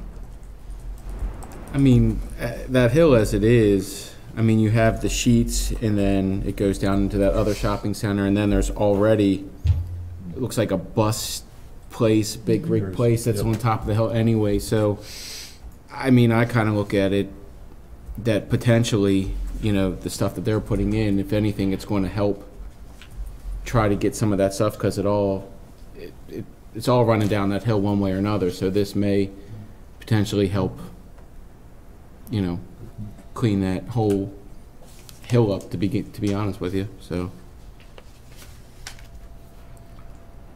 Commissioner, any comments? None today, thank you. Okay. All right. Um, Then, hearing no other comments, um, does somebody want to make a recommendation? Read it off of here. Uh, Well, yeah, you don't need to read it all, just. Yeah, I would just say, I would make the recommendation to approve with the pursuit of chapter one fifty-five. Staff recommends approval of the site development plan, subject to the list, uh, six, is it just six? It is. Yeah. Six. Yep. To the six, uh, conditions. A second. Okay. Any further discussion? All in favor? Aye. Any opposed? Okay, then, good luck. Thank you. Thank you. Thank you very much for your time today. Um, number fourteen is recess. Um, a short, ten minutes, five minutes? Five. Yeah. Five? Eight wants to get out. We all want to get. Let's do this.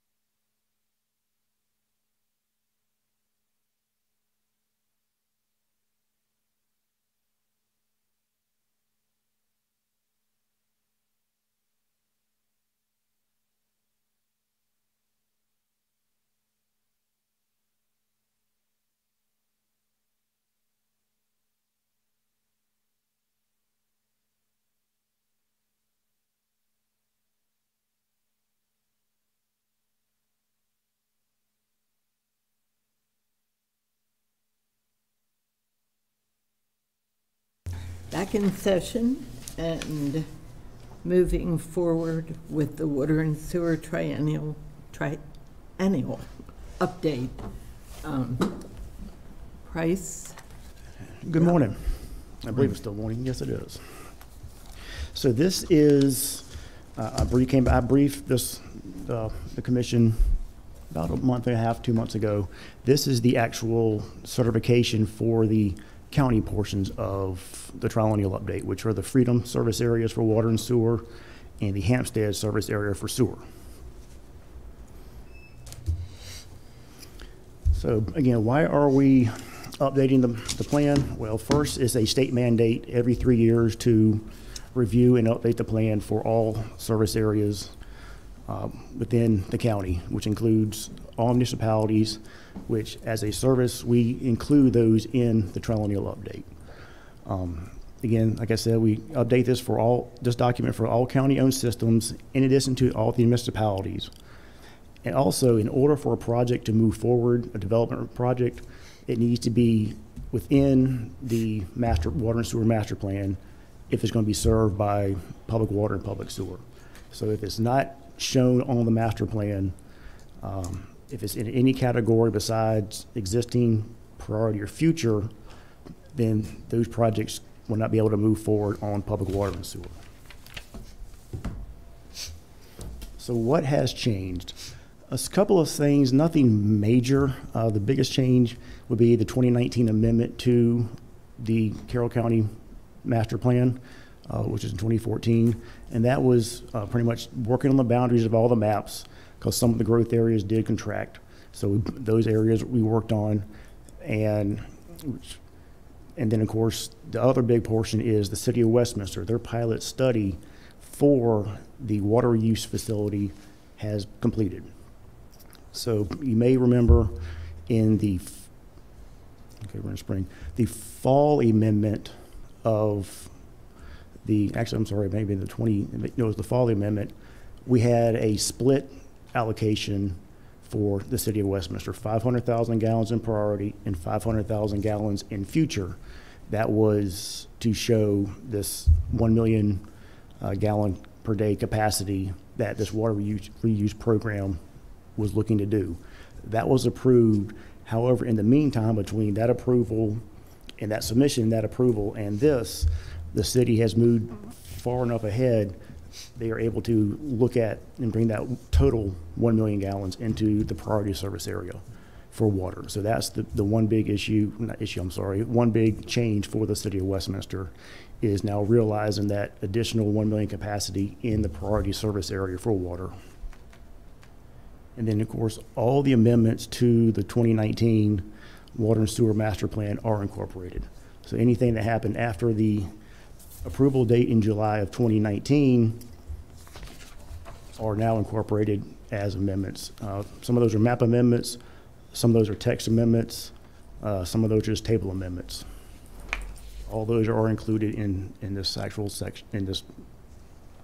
So what have I done what has the county done? We had meetings with all the providers, all municipalities. Um, Some of them were fairly in-depth, and those, uh, they were ongoing.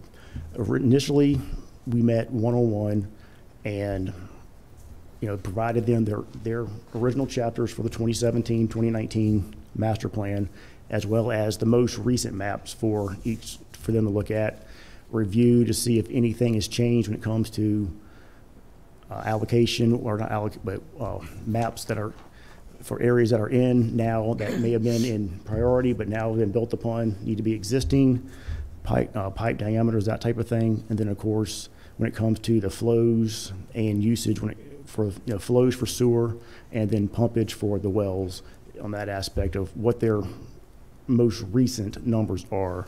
And some of those range anywhere from 20, it's usually a three-year average, so it's 2020 to 23 or 19 to 22, depending on when they provided their, their final stoppage. Um, and then again, they also list any capacity enhancing projects. So these are projects that could potentially enhance the capacity of a plant.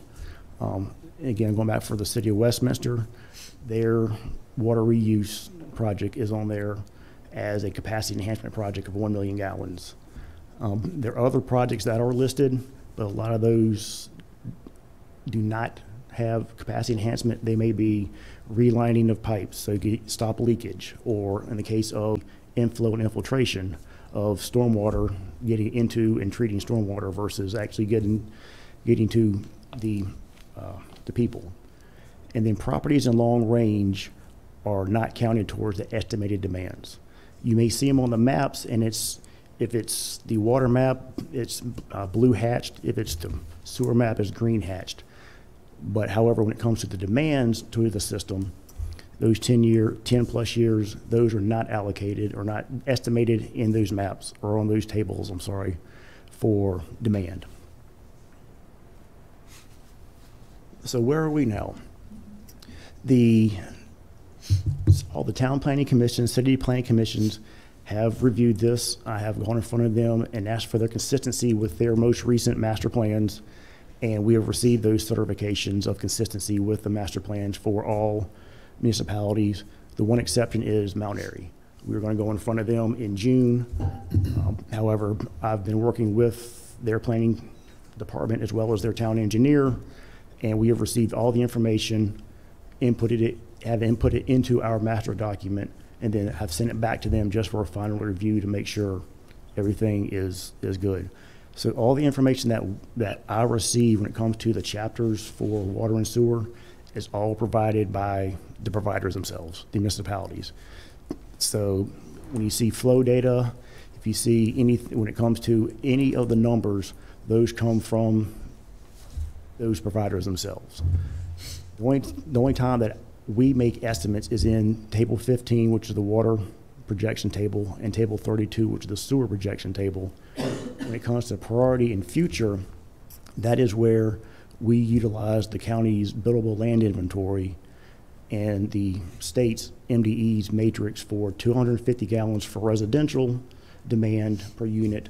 And then when it comes to water and when it comes to commercial industrial, we utilize 800 gallons for industrial and 700 gallons for commercial usable land. Those numbers, again, those are estimates, so I multiply, if there's, ends up being, a, you know, 100 units in priority, multiply it by 250, you have 2,500 gallons of what the potential demand is going to be. Obviously, with that being said, we realize the existing number, that is what we're hoping to be, is our reset, knowing that it's, even though it's not a true actual of what is being billed, it is more precise than the estimate.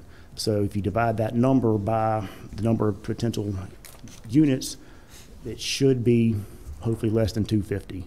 I mean, yes, could it be above that? It could if it's residential. But typically, we've come to find that the actual usage is less.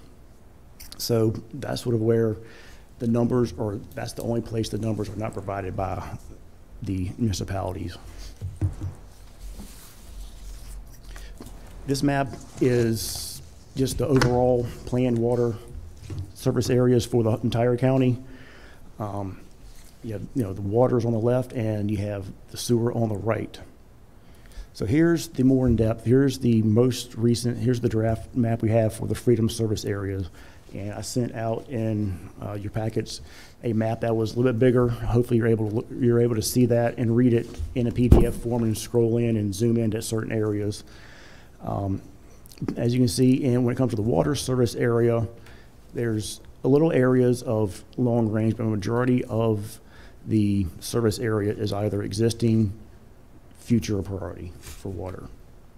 When it comes to the sewer side, there are a little bit more, bigger areas of, of long range, um, mostly in areas that are, that were constructed prior to when the system went into place, or after the system went into place. Um, well, they were built before, they were constructed in, prior to when the system was, was done, and then, so those are usually larger neighborhoods that were built in the, you know, 50s, 60s, and 70s, um, give or take. So a lot of these, you'll see, a majority of it is in the existing service area for sewer. Uh, the town of Sykesville is included in our actual Freedom Service area for both water and sewer. Um, so you'll see when the water-wise, I believe majority of the town is within the existing service area with the exception of, I believe, two or three small parcels. And then on the sewer side, same thing. Um, They utilize our system. And again, this is also for the town of Hampstead. So that, this town has already seen both the water and sewer side, even though the, the county is the provider for sewer, as, you know, the town, as development occurs, he also wanted to see, just to make sure they're in line with, with development of what's going on, even though we do, we provide it, they're the ones that oversee all the development. So the, the one big change here would be, um, just updating areas that would have been maybe in priority prior, and now, because they've been built upon, we make them existing. So that is something I've done. If a development, uh, I'm gonna use Mead, uh, Mead's Crossing up in Taneytown. At the previous, at the previous one, the Mead's Crossing maybe had a very little bit of existing service. Then, as we've gone, when I've talked with the town, with the city, now it is all existing because their permits have been totally pulled, and they, in the city's eyes, they'll be connecting relatively soon. So we made that area totally existing now. So a lot of that is something that has been in the, on the books, instead of doing small little lots every so often in a larger overall subdivision. If the area has been complete or almost complete because all the permits to build have been pulled, we bring that into the existing service area. So, as you may see, the- you know, the, the biggest change here was the, and during the amendment, the northern part of the IDA property, the northern, uh, industrial se- uh, section, we brought in the very top portions of that into the priority service area to better allow this, the county and the town to, to, you know, send that, show that as an area is, is ready to be built, that all that inform, all that demand is there.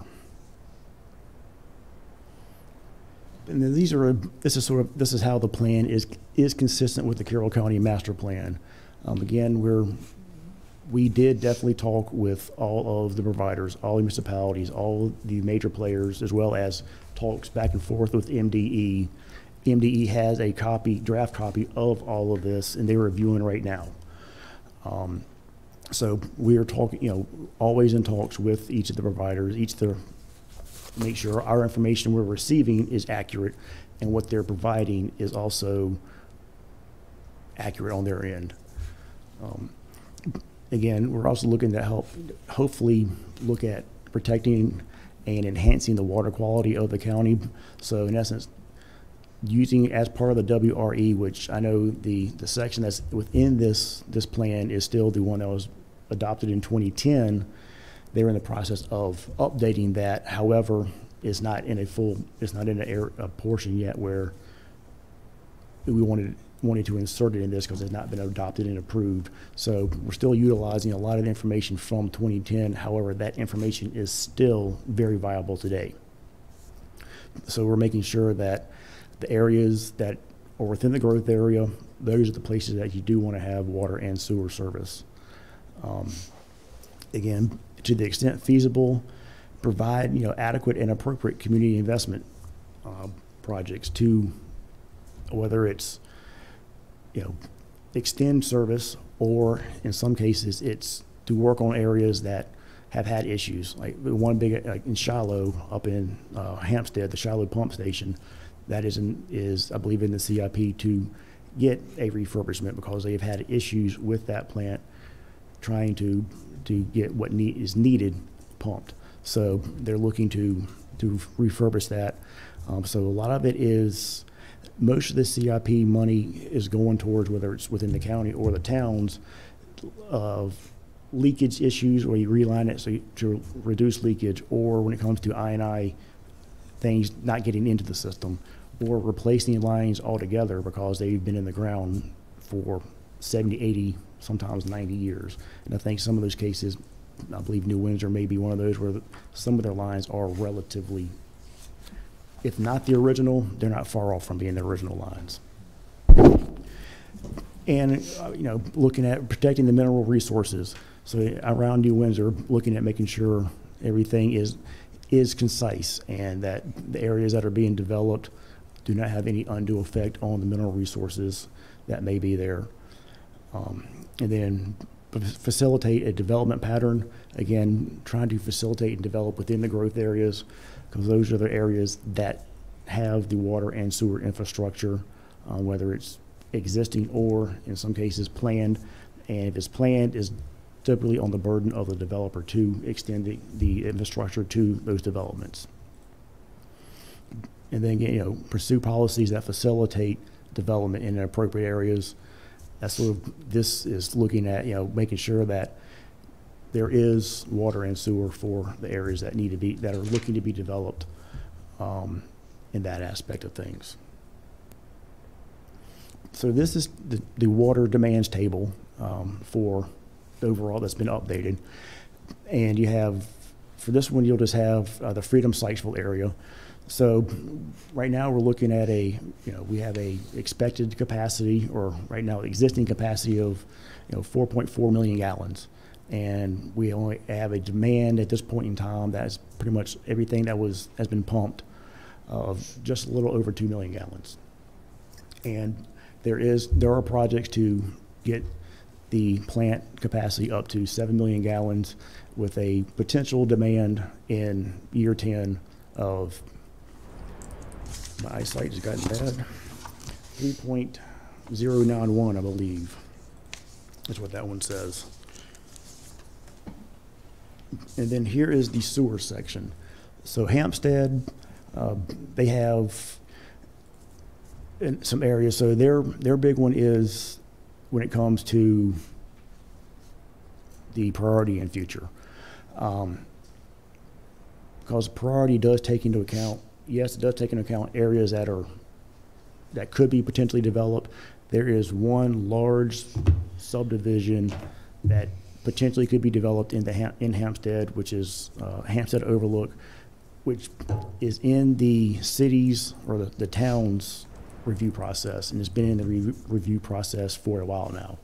Um, So that number, is for two hundred and fifty-five total, total units some of those being townhomes, but also majority of it being single-family homes. So that number definitely shows, and it, it shows a, a big, big increase. However, it's in the priority service area, but again, not really knowing when they're going to connect. That number is a placeholder per se, that demands a placeholder. And just so, you- just also sort of to know, when I compared the present year for this, for the 2023 to the present year numbers we had in 2017, 2019, the demands, all the demands went down. So I think that, at least for me, that it appears to be showing that things are, you know, new low flow technology, the, you know, especially some of these numbers, you have to, you remember, we were pulling these numbers from when a lot of people, when COVID, when everybody was on lockdown, so usage presumably could have been higher. However, when it came to the pumpage data and the well and the flow data, the numbers were less. Um, so there was less usage overall. So again, I think I'm taking that into account as potentially people updating their, their systems, whether it's sinks, toilets, whatever it may be, to not utilize as much with the new lower flow technology. Now, is that a guarantee or is that set in stone? No, it's not, but it's a, it's what I'm, I perceived, especially, it was not just one or two, it was everybody across the board had less usage. Now, looking at the Freedom Sykesville area, we have, you know, total capacity at the plant is three point five million gallons. And in the future, in future planning, when we include everything, we're showing just a little over three point two million gallons of total demand. So the Freedom Sykesville area is a unique area, uh, is because the demand, the demand is broken down between three different players. You have the, the state, which has a, a set amount. Uh, then you have the Warfield, which is included in what the county perceives as their demand. We don't perceive it, I'm sorry, as, as part of our demand. And then you have the le- whatever's left over is the county demand. So it's all in there. We, unfortunately, we don't know what the state uses, how much they use. Um, in essence, where, when it comes to the numbers, we don't have that, that general data. Um, However, it's perceived that, you know, their actual usage is, they have, you know, a set-aside demand of, my understanding, all the information I've had and seen over the years, minus the Warfield process, project, is roughly 758,000 gallons a day is what the state has their allocation for. The Springfield Hospital Complex is what we consider it as. But that includes a lot of different properties in that area of, of the Freedom area. And then the Warfield Complex has 142,000 gallons a day, which a lot of that has, has been built. Um, I think fortunately, I don't believe their actual usage is anywhere near that, which is a good thing. However, that is set aside just for the Warfield Complex, and the county is not able to utilize any of that, that uh, demand for our, for us. So here's sort of where we are, depending on the steps on, depending on how today turns out with the, the certification, is on May 25th, next week. Um, my plan is to brief the Board of County Commissioners and request a public hearing. If that goes well, then the public hearing will be set for the June the 16th. Excuse me, Chris, would have to be the fifteenth? Because the 16th is a Friday. Really? Yes. Thank you. Just want to make, make sure I'm aware. I thought everybody wanted to work on Friday. All right, so that'd be June the 15th. Thank you. Um, So June the 15th would be the, the public hearing, and we'll have, uh, it'll be duly advertised in the Carroll County, Carroll County Times, will be, it'll be on the website, so the information will get out to, to everyone to, for the public hearing. Um, Should the, you know, the public hearing go well, then the adoption, we're looking for on June the 29th. It'll be adoption with a resolution to, uh, for the adopted water and sewer master plan to the state of Maryland for their final approval. And that's where the Ford to MDE comes into play. Um, This plan does not go into effect until MDE gives their final approval. So that could be, if we do say forward it at the beginning of July, if it takes them three or four months, anything that comes in will fall under the existing plan, which is the 2017 plan, or 2019, depending on how you want to uh, look at it. It was 2017 when it started, however, uh, circumstances pushed it off to 2019 with trying to work with other, other things and getting all the data we needed. So in the meantime, the 2017-19 plan is the plan that stays and moves forward. Um, Once this plan does get adopted by the state, whenever that may be, it now becomes the, the main, the overriding document and supersedes the 2017 plan. And we move forward from there with biannual updates if they are needed for amendments. And then, you know, probably roughly two and a half, year and a half, two years from now, start this process all over again to get ready for the 26, 27 water and sewer master plan update. Oops, Sorry. So that is the, pretty much all of what I have. Um, As you'll see, there's a recommended, re- there's a recommended motion on the screen. Um, I'm sure, you know, the commission has any questions, I'll be happy to answer that. If there's any questions uh, in the public, I'll be happy to answer those as the best I can and go from there. Thank you. Thank you. Um, Any questions, gentlemen? No? A- Yeah. A couple, Taneytown has been um, in the news before us ab- about their water issues and their leakage and their infrastructure. Can you give a little update about where they are? Because I noticed on some of the, uh, uh, I guess, the water part and the sewer part, the sewer looks like there's, uh, you know, projecting increase there, but the water wasn't so much. Um, Is, are they working on their problem? Are they They are, um, they. system? Correct. Yes, sir. They are working on that. They are taking, um, I think one of the areas they may have just completed is the Roberts Mill area. Of, it. They- I'm not sure what the length is, but they have replaced or lined those pipes.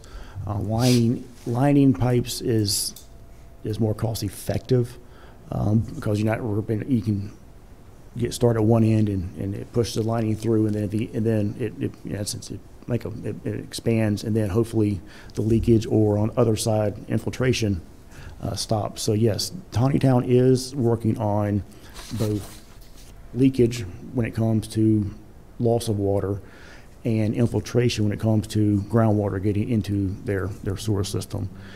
It's a long process, and it's one of those, as my understanding, talking with utility, you're never going to completely stop anything. As in, you're never going to get it 100% non-leaking or non-infiltrating, uh, because as soon as you fix something here, at some point in time, something down on the other end, or something's going to happen. So the recoup rate can occur, and these are projects that do not add capacity at all. However, they are able to recoup capacity. So instead of, let's say, if their number, when it comes to their, their, their total demand is, let's say, is 450,000 gallons, let's say f- a 100,000 of that could be infiltration, look, since or leakage. So if they're able to fix those leaks and get it down to 50, now they're able to utilize 50,000 gallons. They recoup that 50,000 that can now go to other, other, you know, users versus that's just leaking out of the pipes and nobody's actually getting any water. Same thing with sewer.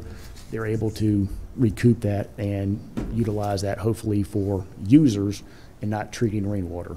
But yes, most, every single jurisdiction is in the, is working on leakage or I and I for sewer.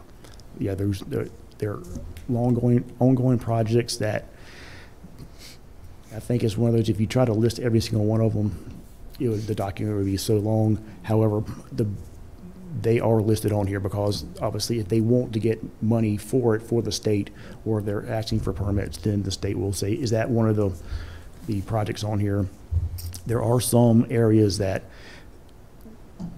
when it comes to, like, is a, a catch-all is the wrong word, but there may be under priority projects is maintenance of the system, of the lines, or something specific where I've talked with the state and they've even called me about certain things. And I said, this is what it states, and like, that's, our understanding is, okay, they're maintaining, so we're fine with how this is moving forward. Um, so, Is there a targeted uh, number for leakage percentage, that, you know, goal that everybody's trying to achieve, or some kind of range, or? it's, my understanding is it's, you're always going, I think when, especially when it comes to I and I, I believe you're always, it, the industry understanding and the industry average is around thirty percent is gonna be what you're always gonna have Mhm. for I and I. For, for leakage, it could be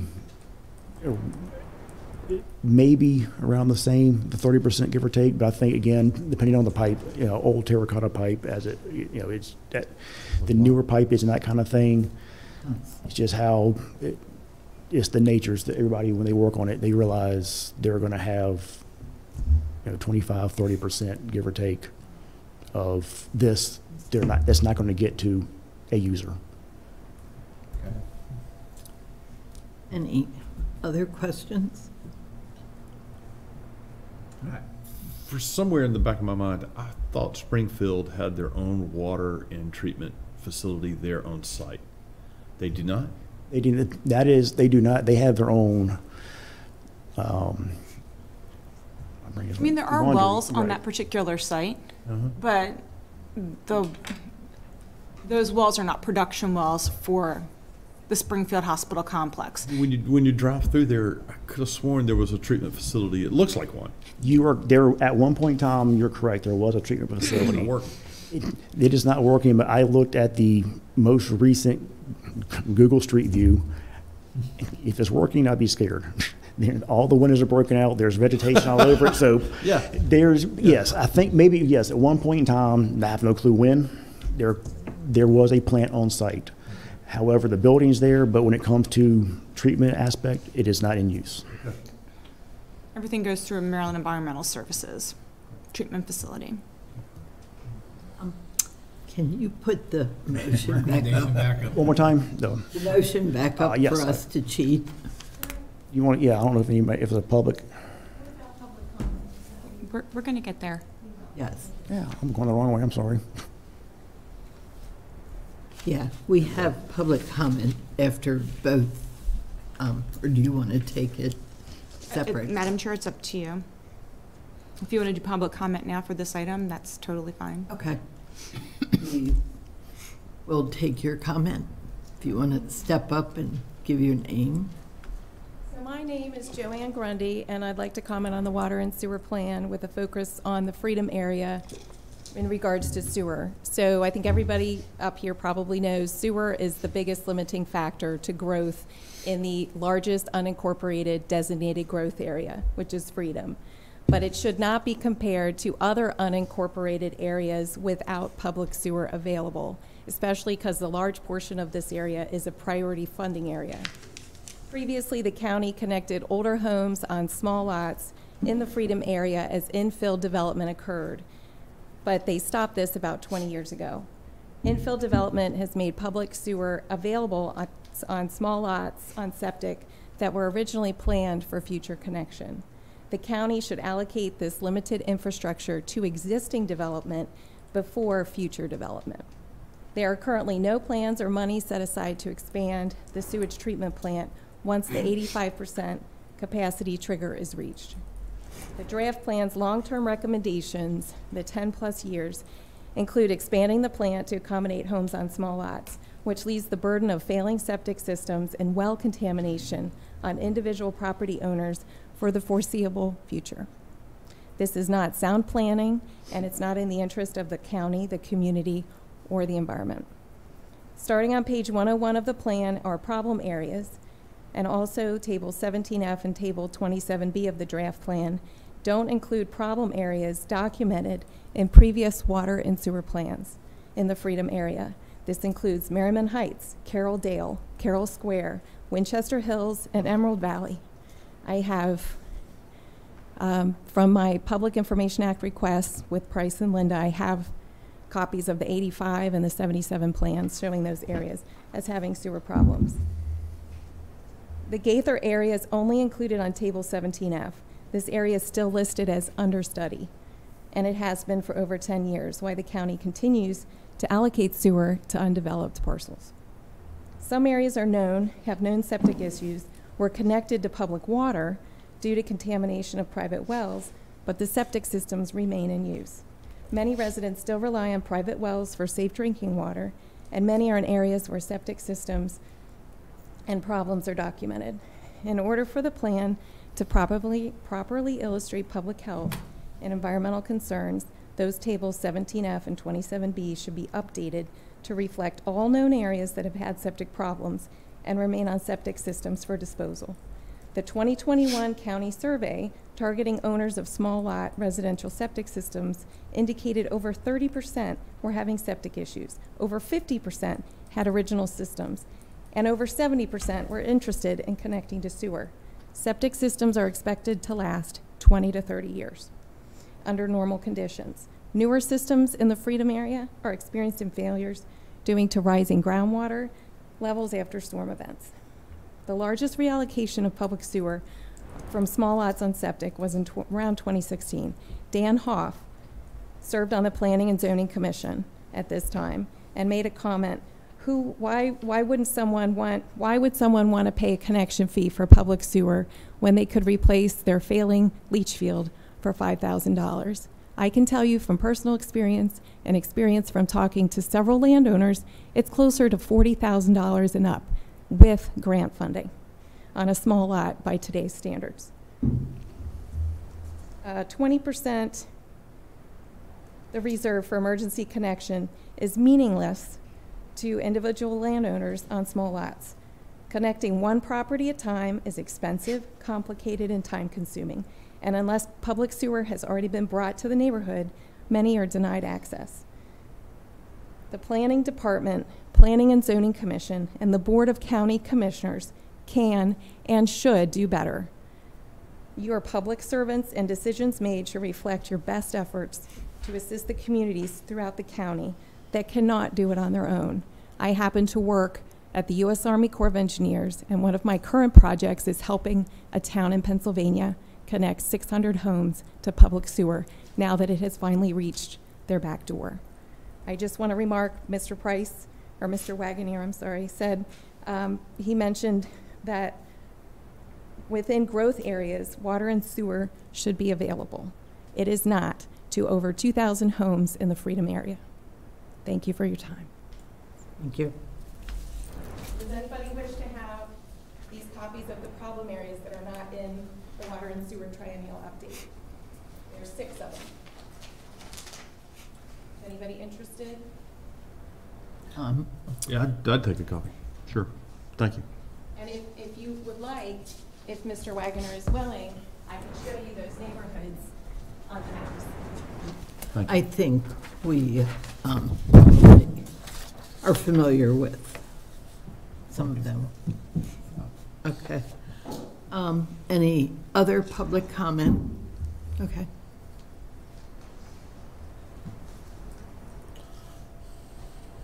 Hi, my name's Kristen Mornelli. I'm an environmental engineer, and I'd like to comment on the public sewer system in the Freedom area. There are many homes in the area that are on septic systems, which are expected to last 20 to 30 years, but many people don't realize they have an issue until they try to sell their home or until there's a drastic failure. Many homes in the area have septic systems that are beyond the expected lifespan, so their systems may be failing and they don't realize it.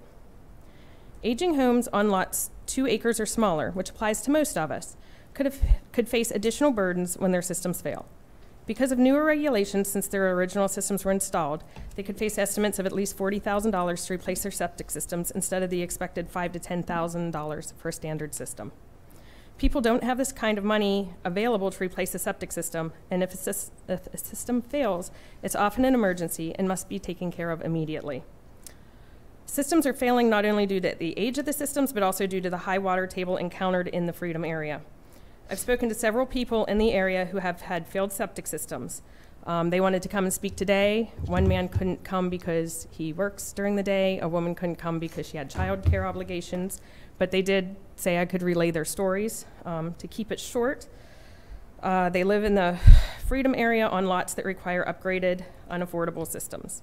A man told me his system failed because of the high water table, and he's now in the process of receiving these high cost estimates um, he's worried about his property values and the potential of having to pay for another system in 30 years when the system he has to install now fails. Uh, one woman told me her septic system backed up into their basement. They had it repaired and it happened again. They applied for a grant, but because of the grant system, they had to wait for a few months before they could even apply. Um, they had to move out of their home for several months until they could actually get the grant payment and replace their septic system. Um, I know if that happened to, my, to me, I wouldn't have the option of moving in with family in the area. She told me her neighbor's system also failed and they had to install an expensive system. Yet another neighbor's system failed years ago, but they don't have the money to replace their septic system, so they have ignored the issue. Uh, the woman I spoke to told me there's human excrement in the water flowing through the culvert by her house. Failing septic systems have the potential to impact the area's groundwater as well. The woman I previously mentioned buys bottled water for her family to drink. I wouldn't want to drink groundwater from an area with septic system contamination, but I'm afraid that's exactly what we'll be dealing with in the future if public sewer isn't available. I've worked on remediation projects for homes with contaminated groundwater, and their property values plummet. The people often have nothing of value to show for their homes. Public sewer capacity needs to be reserved for areas that will need it in the near future. Waiting until there's an emergency doesn't allow people the ability to connect. The county has all the permits showing the ages and types of septic systems currently in use. The county should put this information on a map and determine the communities that are expected to have these expensive septic replacements and prioritize connecting them to public sewer to assist the existing residents and to protect our community's groundwater. We've heard from the planning department that the extension of public sewer to lots smaller than one acre would be inefficient, an inefficient use for the public sewer because it is a limited service. Um, yet that's exactly what's being planned in some parts of the Freedom area. The county has a responsibility to the existing residents to provide the infrastructure necessary to ensure basic health and environmental safeguards for its citizens. It's short-sighted to not extend the public sewer system to these aging homes with older septic systems. These systems will fail and the homeowners could face exorbitant, unaffordable bills to replace their septic systems. As already discussed, some may not know their system is having an issue, and some who can't afford this may try to avoid the issue altogether, creating a health risk for the community. Groundwater could be contaminated, necessitating homeowners to not only replace a system, but their neighbors to also drill new wells and pay for that out of their own pocket. The county should allocate this limited infrastructure to existing communities before extending it to new developments. Leaving individual homeowners to bear this burden when the county could help its citizens avoid this issue is not good planning for the interest of the community or the environment. Thank you. Thank you. Anybody else? Um, I can say on a personal note, I certainly sympathize with you. Um, I live in Gamber, and we are way outside of any priority and had to replace our system a couple years ago. So um, it is unfortunate, but it is something that um, ends up being a necessity. So with that, um, any other comments, gentlemen? I- I would just ask, why, why was it taken out at some point along the way? Why was what taken out? Why, why, were- why were these developments taken out of possible future Connections. Honestly, because when we were reevaluating the Freedom area, these, we have no plans in the past and so far moving to the future to extend lines to about 1,200 homes that we did identify that were on a half acre or less in the heart of the Freedom area. So since there were no plans to extend any services whatsoever um, into those communities, and we are not aware of any in, um, issues from the health departments who we get our information from about failing septic systems, the decision was to move them from priority existing today to a longer range category, so for future connection. Any other comments? And just to clarify, that was done and approved in the formerly adopted triennial update. So nothing that's happening with this plan is changing that. Everything is staying the same. Thank you for that clarification. Um, So we have before us, um, Well, I, I, I'm, I'm gonna stay on this topic for one second, Linda. And, um, I know you've met with, you and staff have met with the FDCA down there. And, um, you know, there are some people down there who are really involved with this issue, and I know you know that. And, um, they're not simply, um, people who are, are, I think, are prone to be chicken little, you know, the sky's falling they're good at what they do and they specialize in this business. And so, you know, when we have people who are civil engineers and Army Corps of Engineers and, you know, you know, environmental engineers saying, wait a minute, this is happening in the area, and we sit up here and, and hear county staff say, well, this, this isn't a health issue. To, to me, okay, so let's assume that it's not a health issue. I, I think we can talk about, there have been instances where there has been a health issue. I think, I think what we have here is a triennial update that we just keep punting this ball down the road and, and sooner or later, you know, they're gonna be, I, I don't think it's gonna be twelve hundred homes that have to be connected in a, in a twenty-four month period. But I, I think we're going, what we're going to see is a problem here that's not geometric, where we have one or two homes that need to be connected. It's not gonna be arithmetic, where there's two here, four there, five there. It's gonna be a geometric problem, where all of a sudden, it's this mushroom. And so, um, I, I, I'd like for us to get in front of that problem and not behind it. And so I, I'll just say, you know, again, I think this is a problem that the community has voiced their concerns over. Uh, we did a survey and people expressed, I think we were all surprised that seventy percent of the people said, yeah, I'd, I'd sign up for that. Um, and so, uh, you know, I, would encourage us to, to kind of, at some point, we're gonna need to fund. A, a plan without funding is hope, and that's not a good thing. At some point, we're going to need to kind of reassess, I think, and say, at some point, we do need to be extending sewer to some of these older homes because they're on smaller lots. They're- These people are also on groundwater, and it, it's just not a healthy situation, giving the density that we're pushing into that, into the Freedom District. And so th- that's my thought on this, is that, you know, we probably ought to be talking more along the lines of, okay, you know, there were twelve hundred homes that were taken out of the priority funding area. You know, and what we did by doing that. They weren't taken out of the priority funding area. They were taken out of the priority sewer That's it, area. thank you. They're, they're, thank you, thank you, that's great. They're taken out of the priority sewer. And what we did by doing that is we basically moved, moved capacity from our right pocket to our left pocket, in, in my view. And I'm not so sure that we shouldn't be looking at, as, as time goes on, again, probably somebody else will be sitting up here than us, right?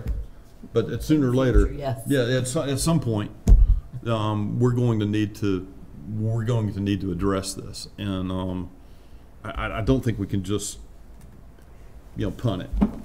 Well, I, I do think um, that there is probably a need for the future to probably have some more discussion on that.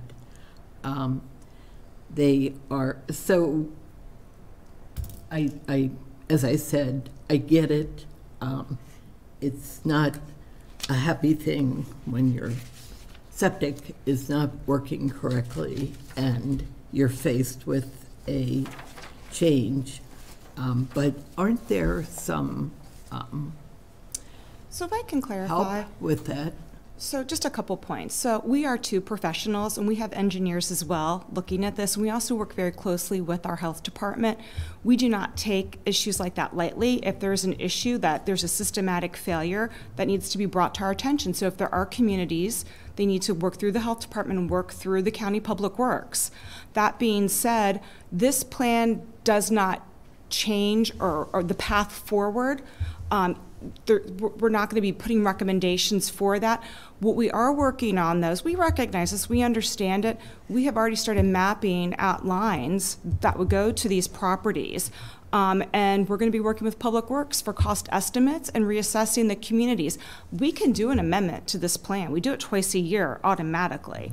Um, and so that's something we need to take a step back and evaluate. But in the meantime, this still is an area for development. We still have this underutilized infrastructure.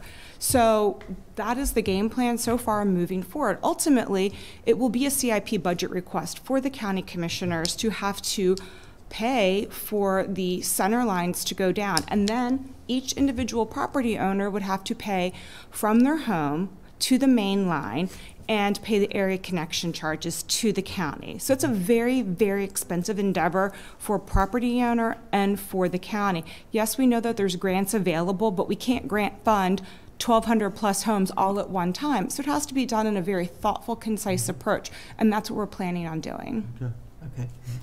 thank you. With all that in mind, we um, have a task at hand to do. So um, there is a recommendation up there if anyone is so inclined to. I could, uh, I'm closest. I have my glasses on. So I'll recommend a motion that the uh, Carroll County Planning and Zoning Commission hereby certifies that the 2023 triennial update to the Carroll County Water and Sewer Master Plan as it pertains to the county is consistent with the 2014 Carroll County Master Plan, 2019 Amendment, and the 2018 Freedom Community Comprehensive Plan. I'll second. Okay. Um, Any further discussion? Okay. Hearing none. All in favor? Aye. Any opposed? Okay. You have your motion. Excuse me, Mr. Lester, did you vote? I did not. Okay, so are you abstaining? Yeah, I'll abstain on this, I think. Thank you. I appreciate you asking. There's three in favor and the motion carries with one abstention. Okay. All right. Thank Thank you you. very much. All right. On to our last, but certainly not least. um, Andrew Gray, the Transportation Master Plan, Chapter 8, Emerging Trends. Thank you, Welcome. Madam Chair.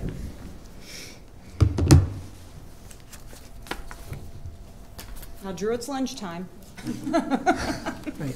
Can you hear our We got 40 minutes. It'll only be one hour, no. Only one hour. Okay, all right, just want to be clear. do this. All right.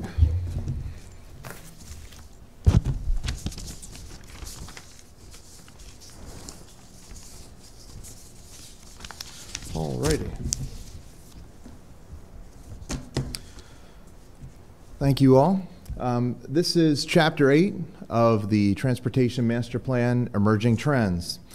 Um, Moving through the presentation, the Carroll County Master Plan, um, the 2014 Master Plan as amended in 2019, um, mentions um, alternative transportation to improve air quality, which is supported via electric vehicle and autonomous vehicle transportation technologies. Before I started, I just wanted to, to just pull this out of the current, currently adopted master plan. Um, and also, oops, sorry. So for, starting with electric vehicles, the most extensive trend in the transportation world today is the transition from vehicles powered by the internal combustion engine to vehicles powered by electrical motors for the following reasons. One of the reasons is sustainability. Our world is becoming more sustainably conscientious.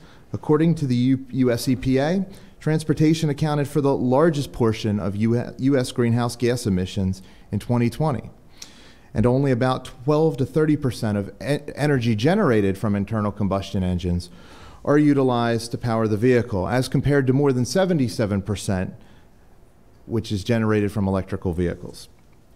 Also, federal and state incentives.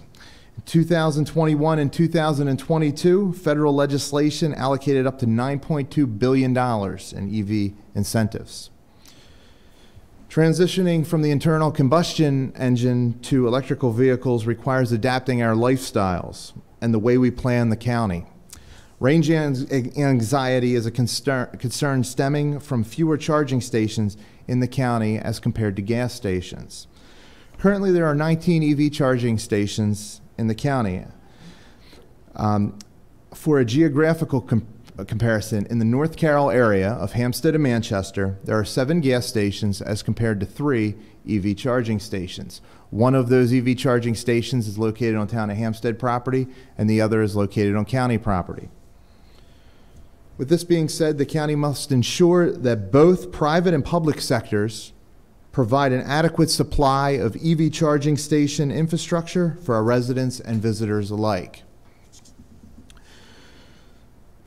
Just a, um, a side note with Maryland state law, um, it should be noted that in this past legislative session, in 2023, the Maryland General Assembly voted to require all new single family dwellings and townhomes to be EV equipped.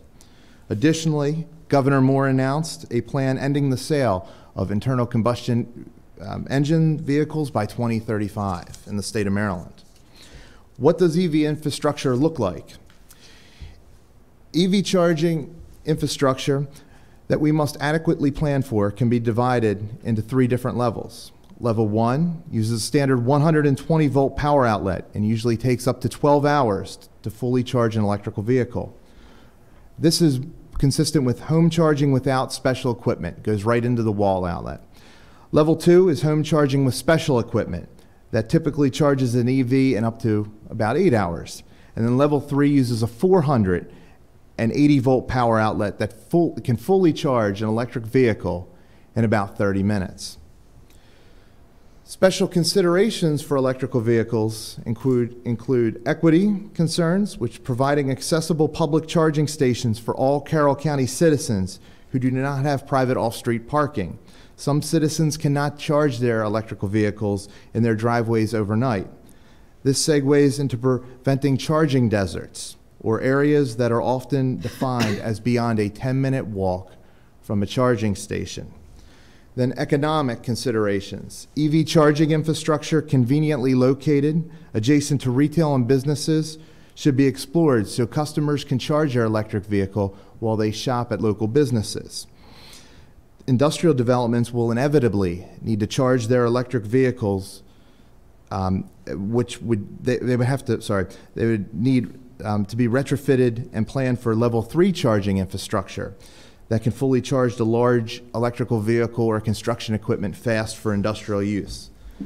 The county may wish to assess whether design guidelines should be implemented for EV charging stations so developers and the public alike can have clear and accessible standards when considering infrastructure installation.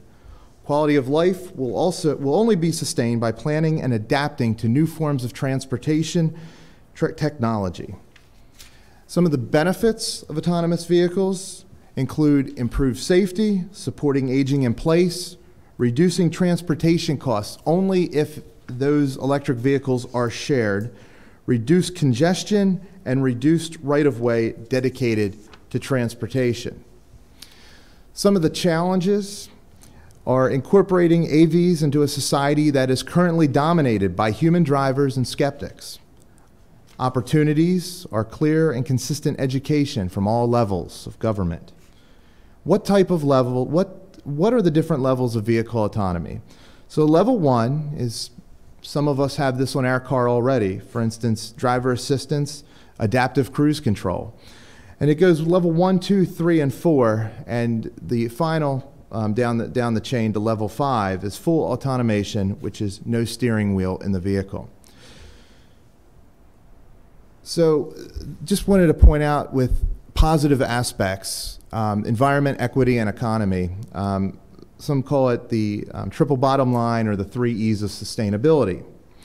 Um, for the environment, narrower right of way widths leading to an increased areas devoted to green infrastructure and also a safer environment as well. For equity, increased traffic safety for all, narrower right of way widths, as mentioned under environment, um, will lead to the enhancement of bicycle and pedestrian facilities, opportunities to revitalize urban centers, and more public gathering places for the public. And also increased mobility for our special populations.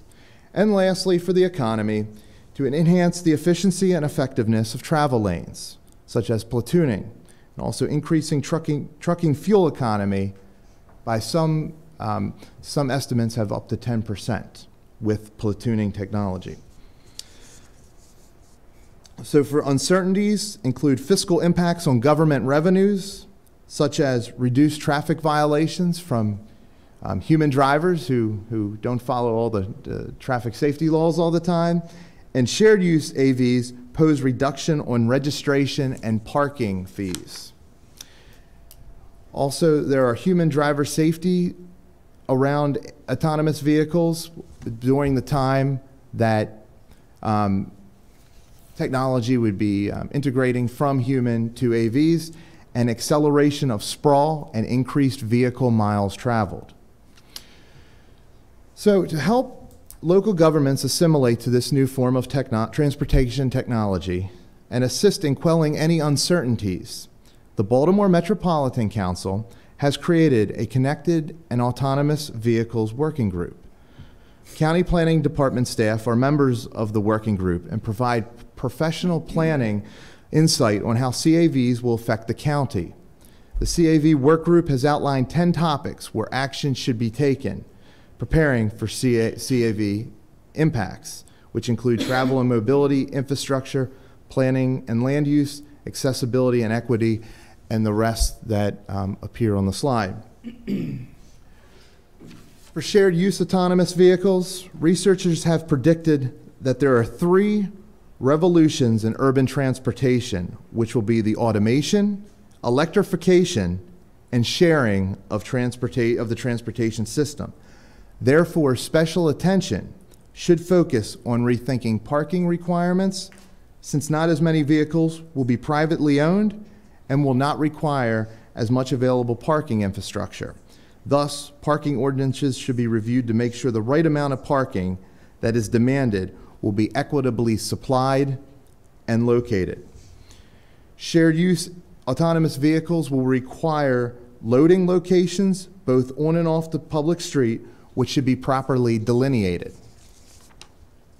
Increased amounts of data collected and the use of autonomous vehicles, any autonomous vehicles will need to be linked to the grid and may thus require communications investments all throughout the county.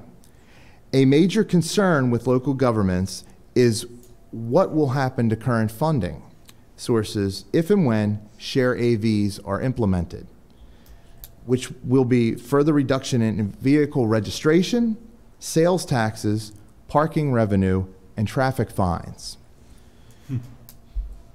And just some other transportation considerations.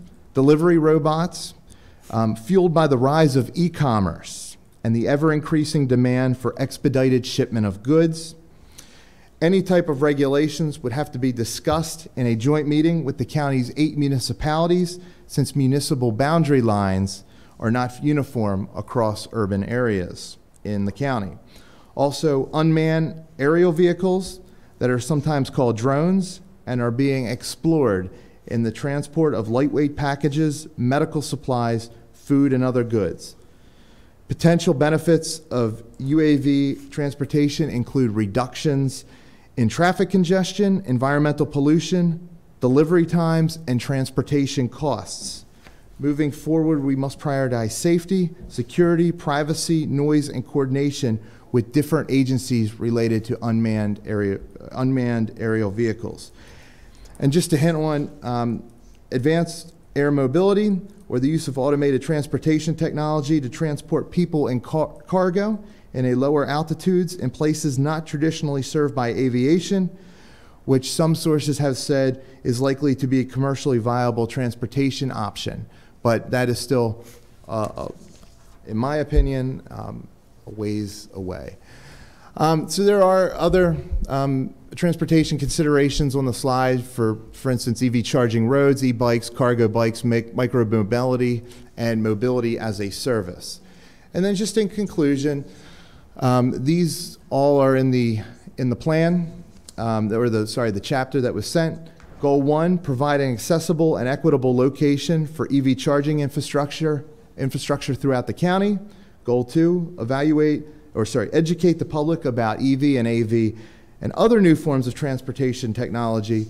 Goal three: collect feedback on how to best incorporate new technology on Carroll County's roadways. And finally, goal four coordinate with federal, state, regional, and local agencies to implement EV and AV technology. Thank you, Madam Chair. That is all I have, and if you have any questions, I'll be happy to answer them. Thank you. Um, I don't think I do. I'm not sure I'll be around when all that's implemented, but. 2035, I- you're I- not going anywhere. I feel like the Jetsons.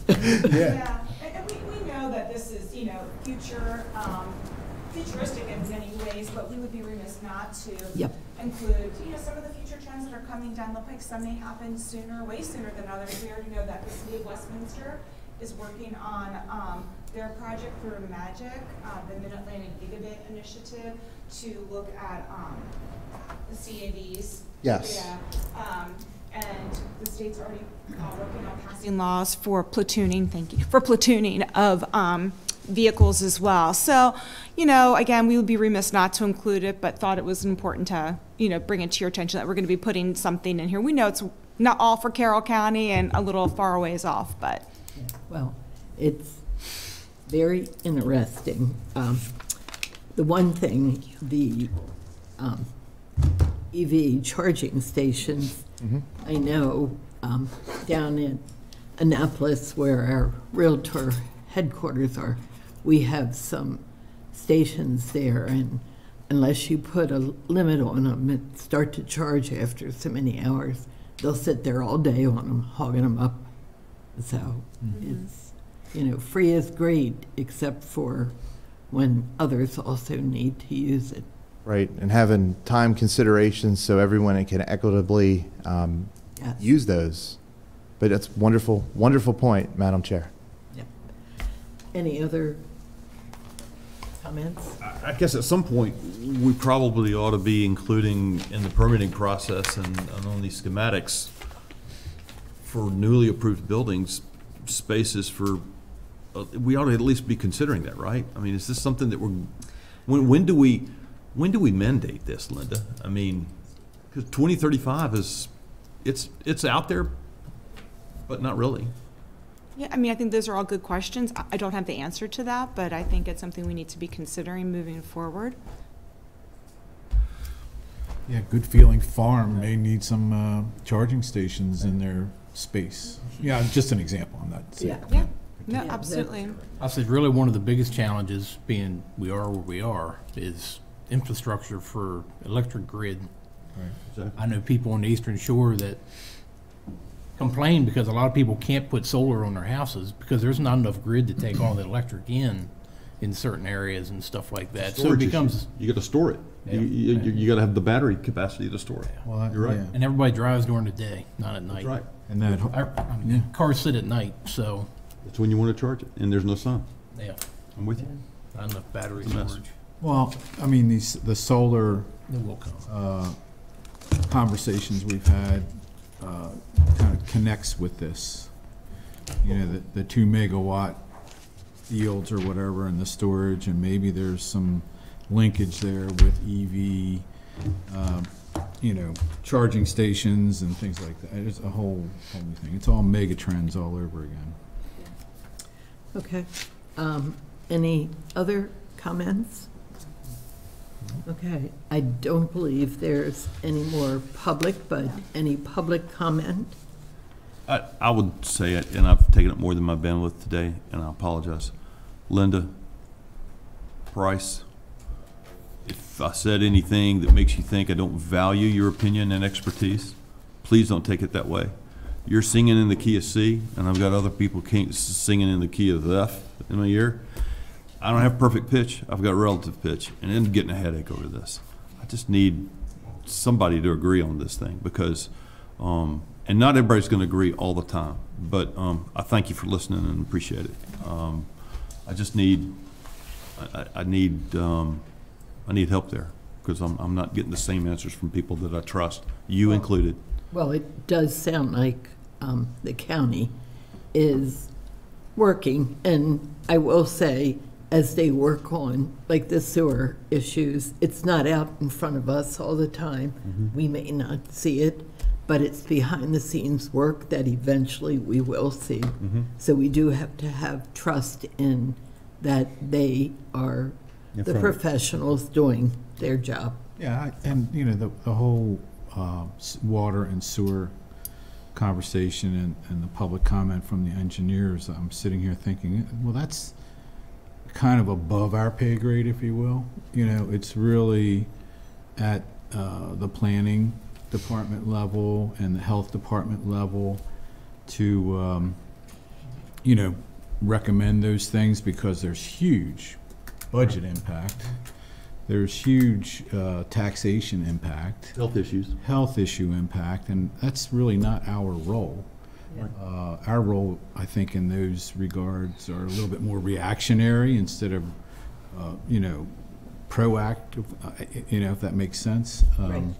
So, uh, look, I get it, it's an issue. I remember we owned a house in Ellicott City a hundred years ago and had to connect to um, the public water, and it was five grand, and that was like thirty years ago. I mean, It's Well, expensive, so, Double, triple. Yeah, on- yeah.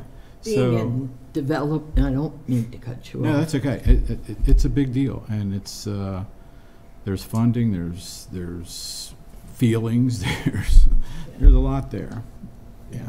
I mean, and even to, you know, get into what, you know, Linda said, just about having twelve hundred homes, the money, I mean, what I do on a daily basis, you know, you'll see people try to develop properties, and I'm in fire protection, and then they have no idea, when it's like, well, we're gonna use our existing, eh, no, you're not, and then they Double find up. out that the amount of money to have a new line ran to a property, and the, the tap fees are, at points in times, hundreds of thousands of dollars for all that work, so, I Especially mean, commercial. for the Mhm. county to have to find a way to pay twelve hundred homes, I mean, and that's not even including all the infrastructure to get the lines to the point that they can be connected. Right, right. It's, Well, I, I do think the county will ultimately, at some point in time, devise something that will provide the access to it, but um, like redoing your septic, um, the hookups will still remain the cost of um, the homeowner And and, then the quarterly charges as well. right, Right. yes. A So, lot of yeah, considerations. I'm happy to keep my septic. Yeah. We'll let Commissioner Gordon figure all that stuff out. Okay. I have to talk to my colleagues. Okay. Um, Any other comments? Um, I will entertain a motion to adjourn. I will make a motion to adjourn. I second. All right, I assume we're all in favor. Next meeting, Wednesday, June 7th, 6 PM. Oh, you railroaded that.